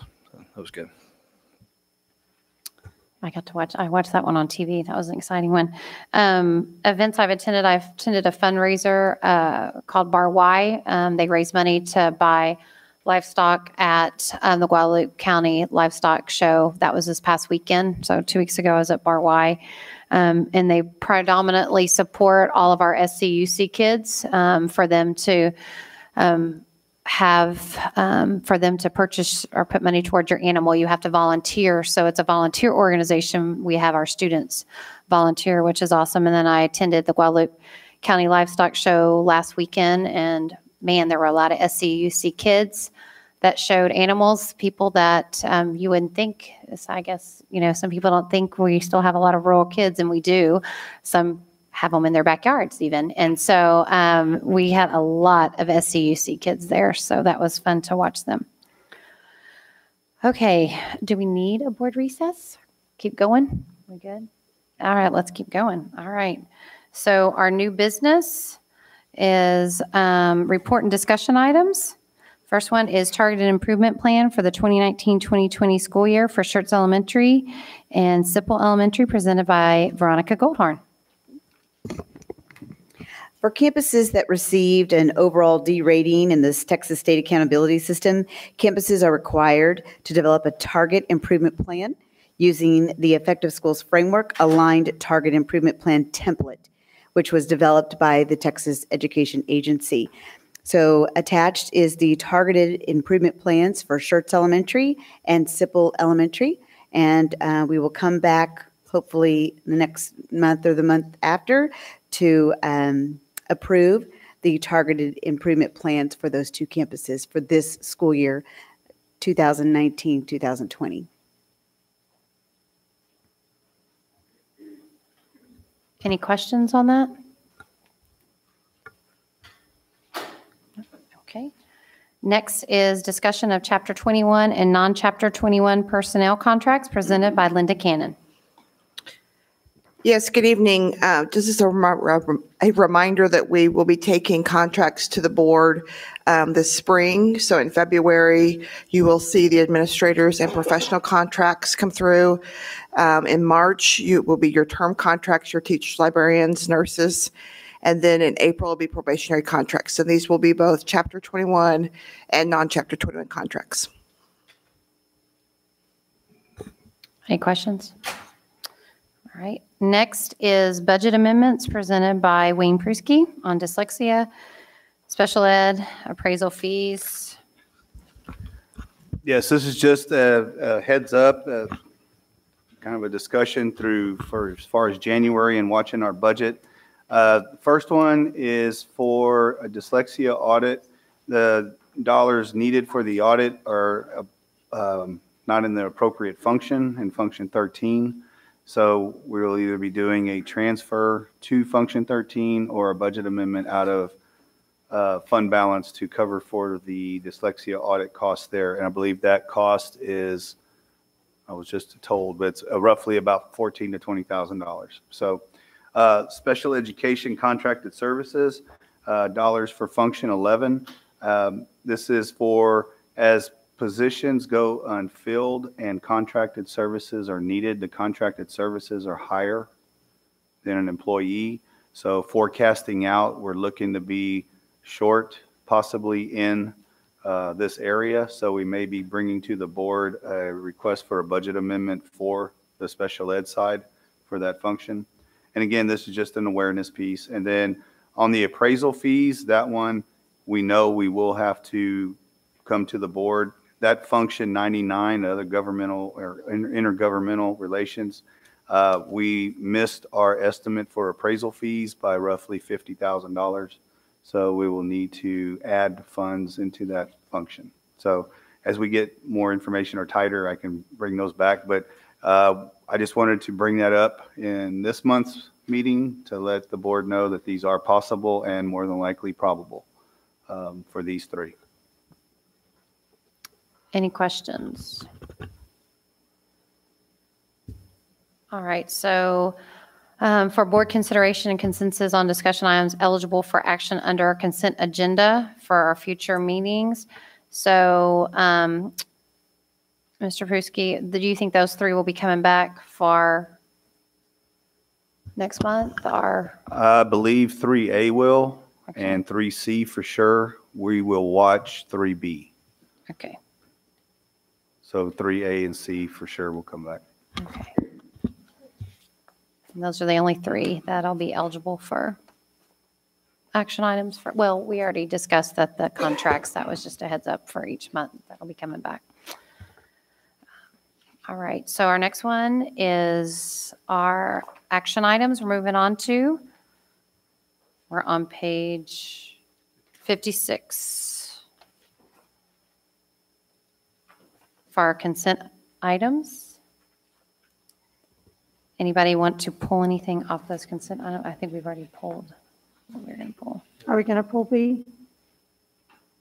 Is that what you were saying? Approval of financials on this one on page 56? Yeah, that's where I am. Is that what you were saying to pull it? or are you No, no, saying no, it's for next month, with Okay. those amendments that So- will come back that were on discussion. Okay.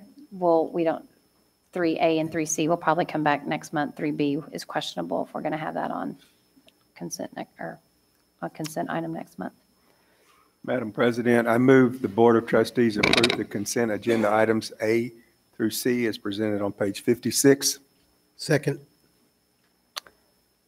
Any discussion? I have a motion and a second. Any discussion? No. All those in favor, raise your right hand. The motion passes oh. 6-0. All right, our next item, we're on page mm, 89 next, is a request for board approval for SCUC 2021 school year calendar presented by Dr. Edwards. Oh, no, sorry. It's the application to the Texas Education for the 2021 school year staff development waiver presented by Ms. Kovacs.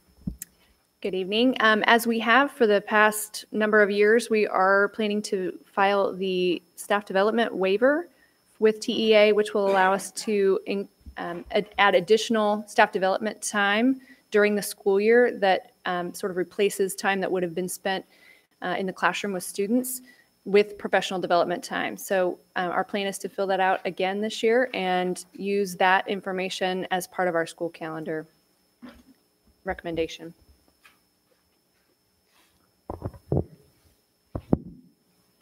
Do I have a motion? I move the Board of Trustees approve the staff development waiver to the Texas Education Agency for the 2020-2021 school year.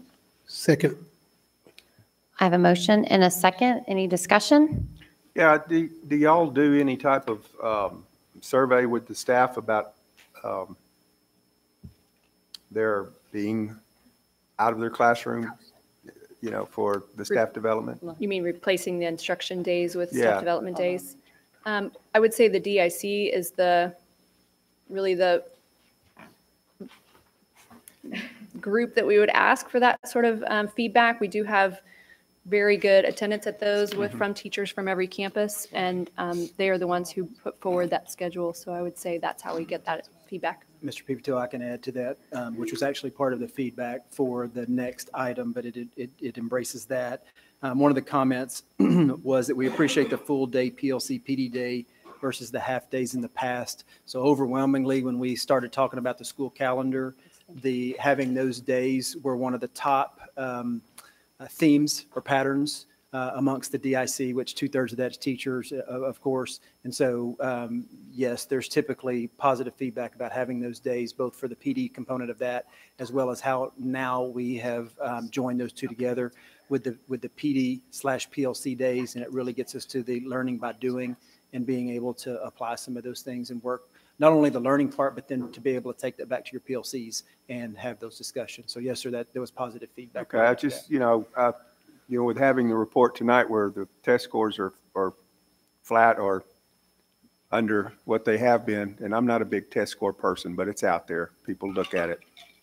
Uh, And the, the cost effectiveness in this, in the teacher's time of being in a workshop, you know, where it may help them do a better job Right. with that, or being in the classroom, working on that. So I, you know, that's, that's the, the angst of it, I guess, for me is, the you know, you know, which, which is, which is better?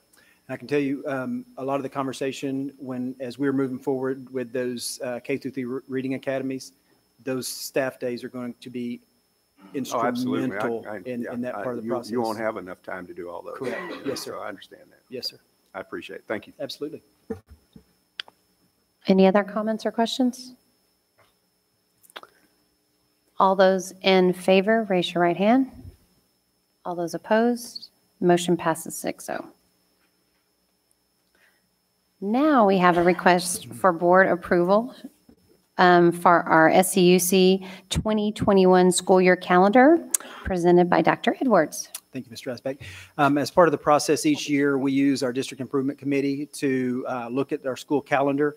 Uh, We started off with looking at our current calendar, other calendars in the area to formulate and start developing drafts. Um, As that, that's a process that begins in, really in September, or October with, uh, again, what do we like about our current calendar and what else is out there? Uh, We follow that process and bring a recommendation to the board based upon the DIC's uh, vote, if you will, and it is, we emphasize that it's a recommendation. Um, The district may not, as a, as a reminder, the district may not begin instruction prior to the fourth Monday in August unless the district is a district of innovation, which we are. That gives us that flexibility. The school calendar allows us as a district to establish days of operations and contract days for employees, including uh, anytime required for staff development, planning and- and preparation, and continuing education. Um, As we went through the process, uh, you have three documents in there. Um, We went through the process and gathered uh, considerations. Uh, This was shared with all the DIC members uh, several different times, but certainly as we concluded, um, with, uh, with that being said, draft option B was selected by about 83% uh, amongst the DIC vote. Um, Just real quick, some of the feedback related to uh, the calendar itself. Um, It's great, love the days, how the days are organized. Uh, The process was very thorough, and option B seems to be the best option for all students and teachers. Um, As a parent, I prefer the earlier release for summer.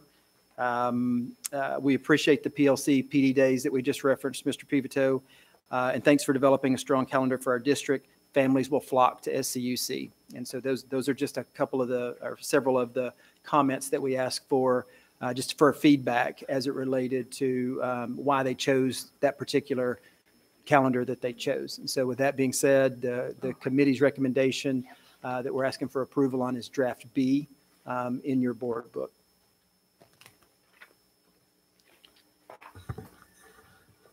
Madam President, I move the Board of Trustees support or approve the 2019-2020 school year calendar as recommended by the District Improvement Committee, option B. Second. We have a motion and a second. Any discussion?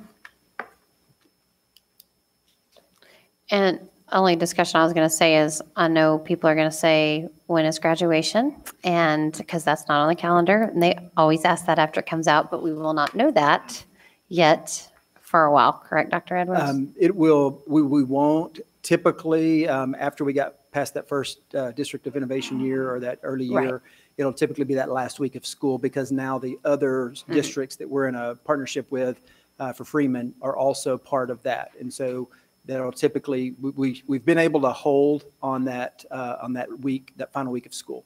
It just won't be on there when it comes out right now, so I know people No, want this to is know just a that. draft. and we'll- Yes. We are, we uh, have preparations to do uh, the final, uh, pretty version, if you The will. pretty version, um, yes. And get that out just as soon as possible. Okay, so I have um, any more discussion? All those in favor, raise your right hand. All those opposed, motion passes 6-0. Next on our action items is request for board approval, budget amendment number three for the following, presented by Mr. Pruski, which is 45000 in professional development in accordance with the bilingual exception wa- waiver, and 50000 for the first of five payments toward the Miracle Field constructed by the city of Cibolo YMCA. And we've done this before, and this is really wonky, but you, before the trustees can even consider an item for approval, they have to have approved funds. It- We've checked it and double checked it and triple checked it. That's what the attorneys say. So my point with that, Wayne, if item number four comes into the discussion, then Dr. Edwards and Mr. Bear, just be ready and let's go ahead and talk about it. If that's all right with you, Yes. because they roll together, 3B and item four roll together. Yes. Uh, say, But Mr. they have to be voted um, separately. Yeah, I just- just want to make a note that um, I- I've been on the YMCA Board of Advisors for quite a while, so I'm going to participate in the discussion, but I'm going to recuse myself from any vote or abstain from a vote on those. Okay, thank you, Mr. Inman. Yep. President Dreisbach, uh, the board is asked to consider this budget amendment to where $95,000 will come from the general fund, fund balance, general operating fund balance, uh, for two functions. Um, The bottom line up front has an error in there, or or an omission, I should say.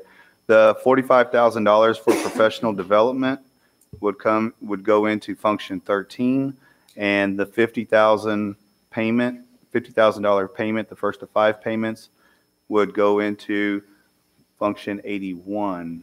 I believe that's the right one. Yes, uh, would be in function 81. So we're splitting it into two different functions. That's the only change on that sheet. So I apologize for that omission there.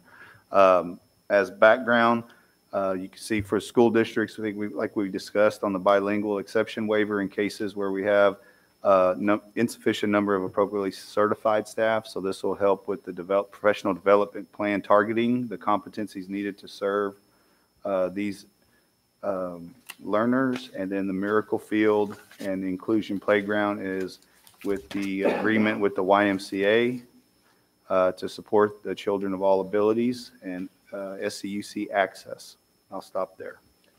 Wayne, do you need the motion modified to include those functions or just the minutes to note that? The minutes will have Okay, The minutes will have there, that's why I wanted to put it, I wanted to say it as well. But Budget Amendment 3 will come out of general operating and will be split into Function 13 and Function 81. 45,000 function 13, Yes, sir. 50,000 function. And if it wants to be worded that way, it would be cleaner. I'd appreciate it, but it's up to, Okay, we can make the minutes say, now that you've said it twice, and I've repeated it twice, we can Okay. make the minutes say 'cause that that's it's- what the. It's in the motion- exhibit behind the action sheet, it's just not worded on the action Right, sheet. okay. Let me, let me ask you, Wayne, on the, on the fifty thousand dollars to the, the YMCA,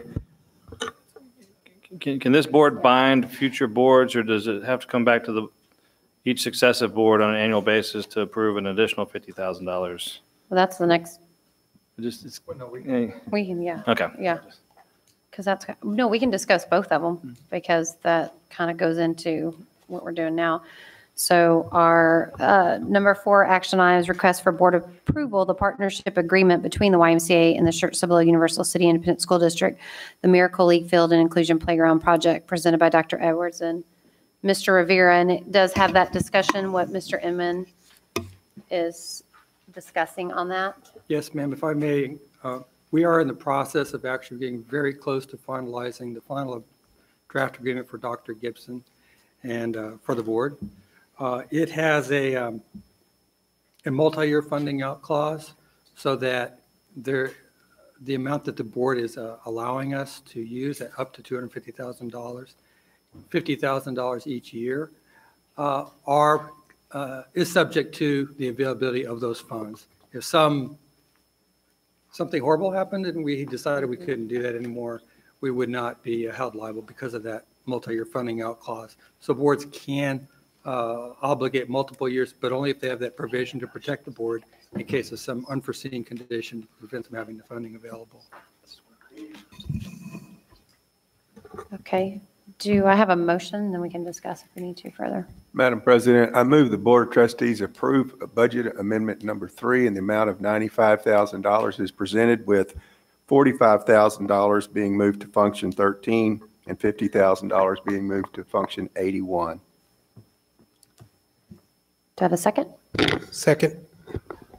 I have a motion and a second. Discussion on this? You want to have discussion? No, I will, I will say, I think the funding of the Miracle Field is consistent with our mission, vision, and values for this district, and, and so I think it'll be positive.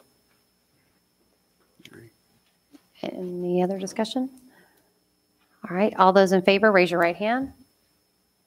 All those opposed, motion passes oh. 5-0. No, With I one know it's abstain. weird uh, and think that was Thank clear, the abstention, and that's good.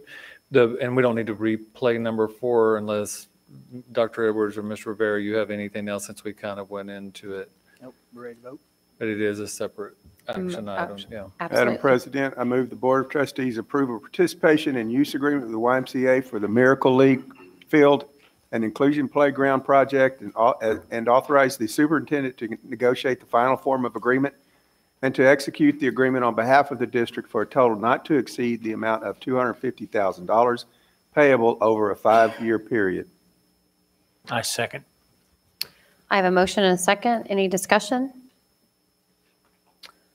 I do agree with um, Mr. Westbrook that this does line up with our mission, vision, and value and our goals, and um, we're excited to be able to participate in that if this motion passes. All those in favor, raise your right hand. All those opposed, m- uh, motion passes 5-0 with one abstaining. So Freddie, you can go home now if you want to. You've lasted it out, but thank, oh, you're here for the HVAC. Okay, sorry, Mr. Emmett, yeah. We appreciate all the work and look forward to continued partnership. Next on our agenda, we have a request for board approval, RFP number 20-003S, English Language Arts Reading Phonics Program for grades, grades K through 3, presented by Kelly Kovacs and Matt Rivera. Page 116. So this evening, we're bringing to you for board approval the selections uh, from the RFP process for phonics for grades K through 3 and grades 4 through 5. If you'll remember when we brought this item in October, um, we had attempted to make this purchase last spring and realized that it needed to be broken up into K through 3 and 4 and 5 separate from K through 5. So those RFP selection committees have met and made their determinations, and so we'd like to request your approval for those this evening. Those will be paid for out of IMA since phonics is a part of our required TEKS for English language arts and reading. Do I have a motion?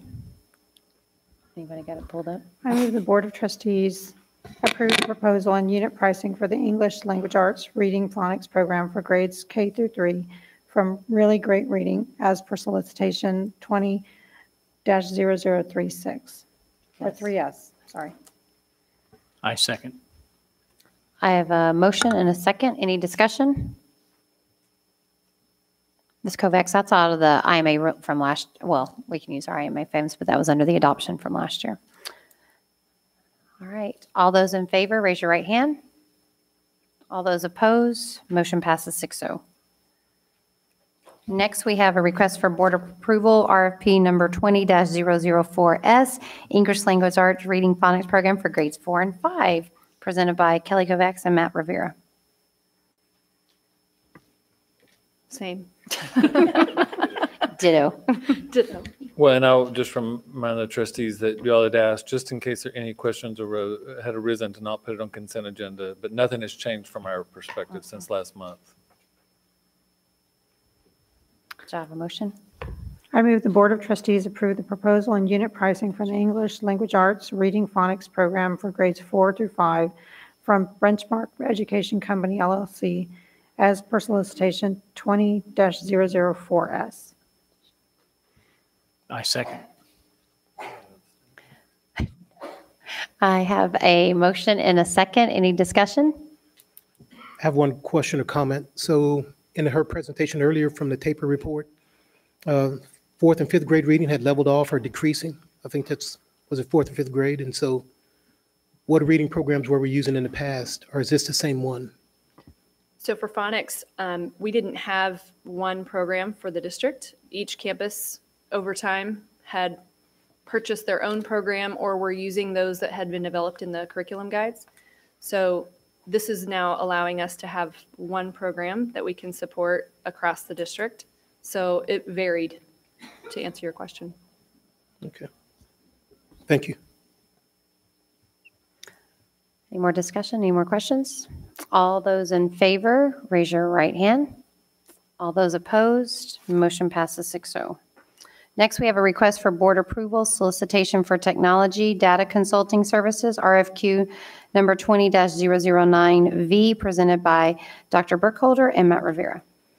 Yes, thank you, Madam President. Tonight, we are bringing to you the names of six firms capable of providing technology consulting services on uh, any future technology projects. Um, Because we have so many different areas in technology that uh, require special specialization, it, it's good to have some firms that have expertise in various areas. These, this is, there's no current budget impact. We will determine when um, we would need their services for any future projects.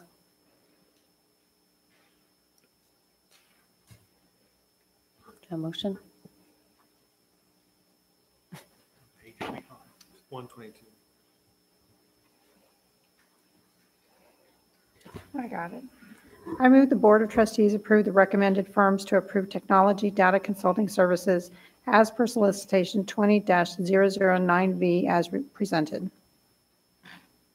I second. Any discussion?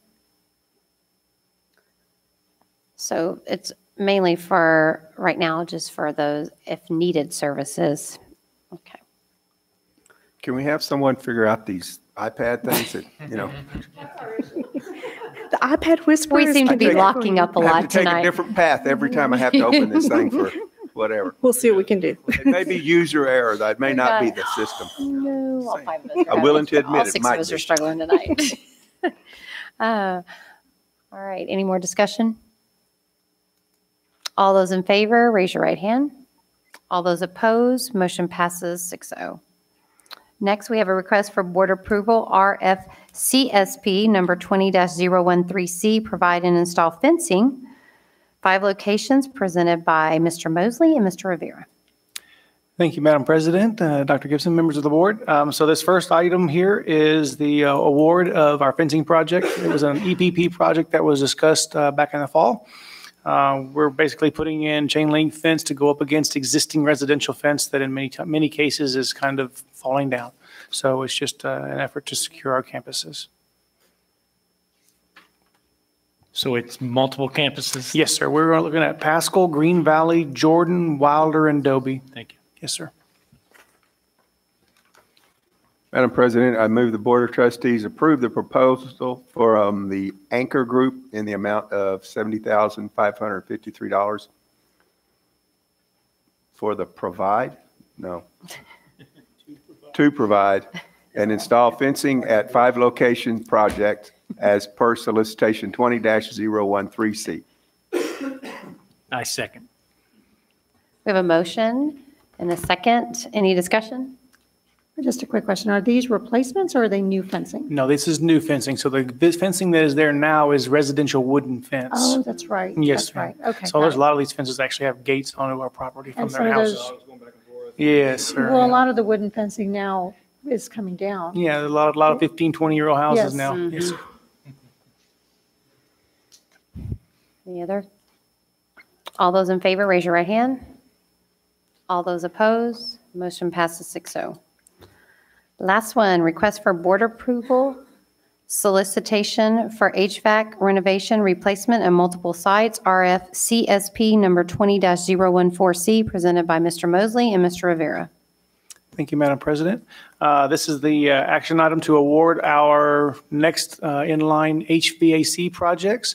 Uh, We are replacing Green Valley Elementary in whole, uh, half of this building that we did not do last time, and then as well as the kitchen for Clemens High School.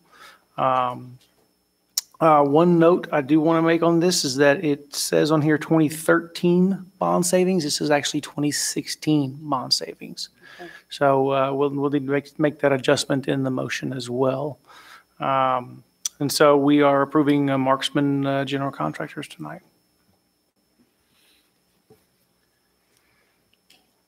Madam President, I move the Board of Trustees approve the proposed submit, submitted by Marksman General Contractors as per solicitation 20-014C for the not-to-exceed amount of 4,700,000 and acknowledge that the funds are provided under the 2016 bond savings. Second. I have a motion and a second. Any discussion? All those in favor, raise your right hand. All those opposed, motion passes 6-0. Those campuses will be happy to get some, probably some new air, updated air conditioning. And Y'all figured out a way to do this in without having to vacate it, right? Yeah. Yeah. As we said, it was going to be this one. I'm like, really? As long as you don't mess with playground time. Um, All right, we're going to go into closed session. The board will now adjourn adjourn into closed session pursuant to the following sections of the Texas Open Meetings Act, Texas Government Code Section 551.072, authorization to deliberate the purchase, exchange, lease, or value of real property if deliberation in open meeting would have a detrimental effect on the position of the governmental body in negotiations with a third person. And Texas Government Code Section 551.074, authorization to deliberate the appointment, employment, evaluation, reassignment, duties, discipline, or dismissal of a public officer or employee, or to hear a complaint or charge against an officer or employee. The time is 8:02.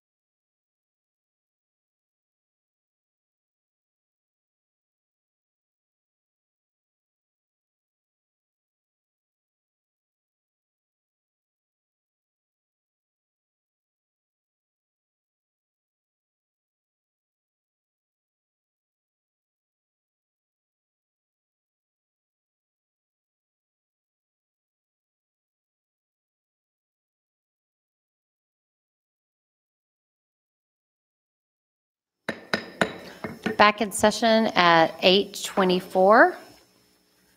Next item on the agenda is request for board action of employment of contractual personnel presented by Linda Cannon. Yes, the positions on the employment list as presented in closed session are replacing positions for the 1920 school year and will be funded from the general operating budget. Madam President, I move the Board of Trustees approve the employment list as presented of contractual personnel for the 2019 and 2020 school year. Second.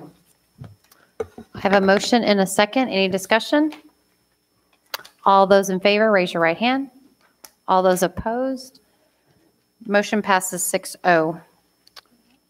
Um, Next item on the agenda is review and discussion for our planning calendar and request for future action items. Um, All of it? Okay. So. Your, your call. Uh, I'm going to get this down, right. So uh, we have a called board workshop on Tuesday, February 4th. We have a regular board meeting on February 18th. Um, On the 12th of February, we have uh, a welcome reception for Dr. Ely. And on the 4th of March, we have a retirement reception for Dr. Gibson. Um, I don't know what the rest of that is. Just a reminder, on February 13th, the CCAC. Yes. On Feb- So th- I have down Pivoto, Finley, and Seaver. Is that Yeah. correct? Yes, Pivoto, Finley, and Seaver, and it will be live streamed for the rest of the four of us to view live. And anyone else that wants to view it. We just can't all be here. Okay, and I have from January 31st through February 5th that uh, Mr. Perkins is attending the NSBA conference in Washington. Um, The Texas Tri-County Chamber Luncheon is on February the 11th. The Northeast Partnership Chamber Luncheon is February 13th. The Chamber in Schertz Luncheon is February 18th. Uh, The Mexican Associ- American School Board Association Annual Conference is February 20th through the 22nd. TASB Governance Camp in Galveston. Uh, I have Inman and Westbrook attending February 26th through the 29th. Uh, TASB Grassroots for Region 20, Thursday, February 20th.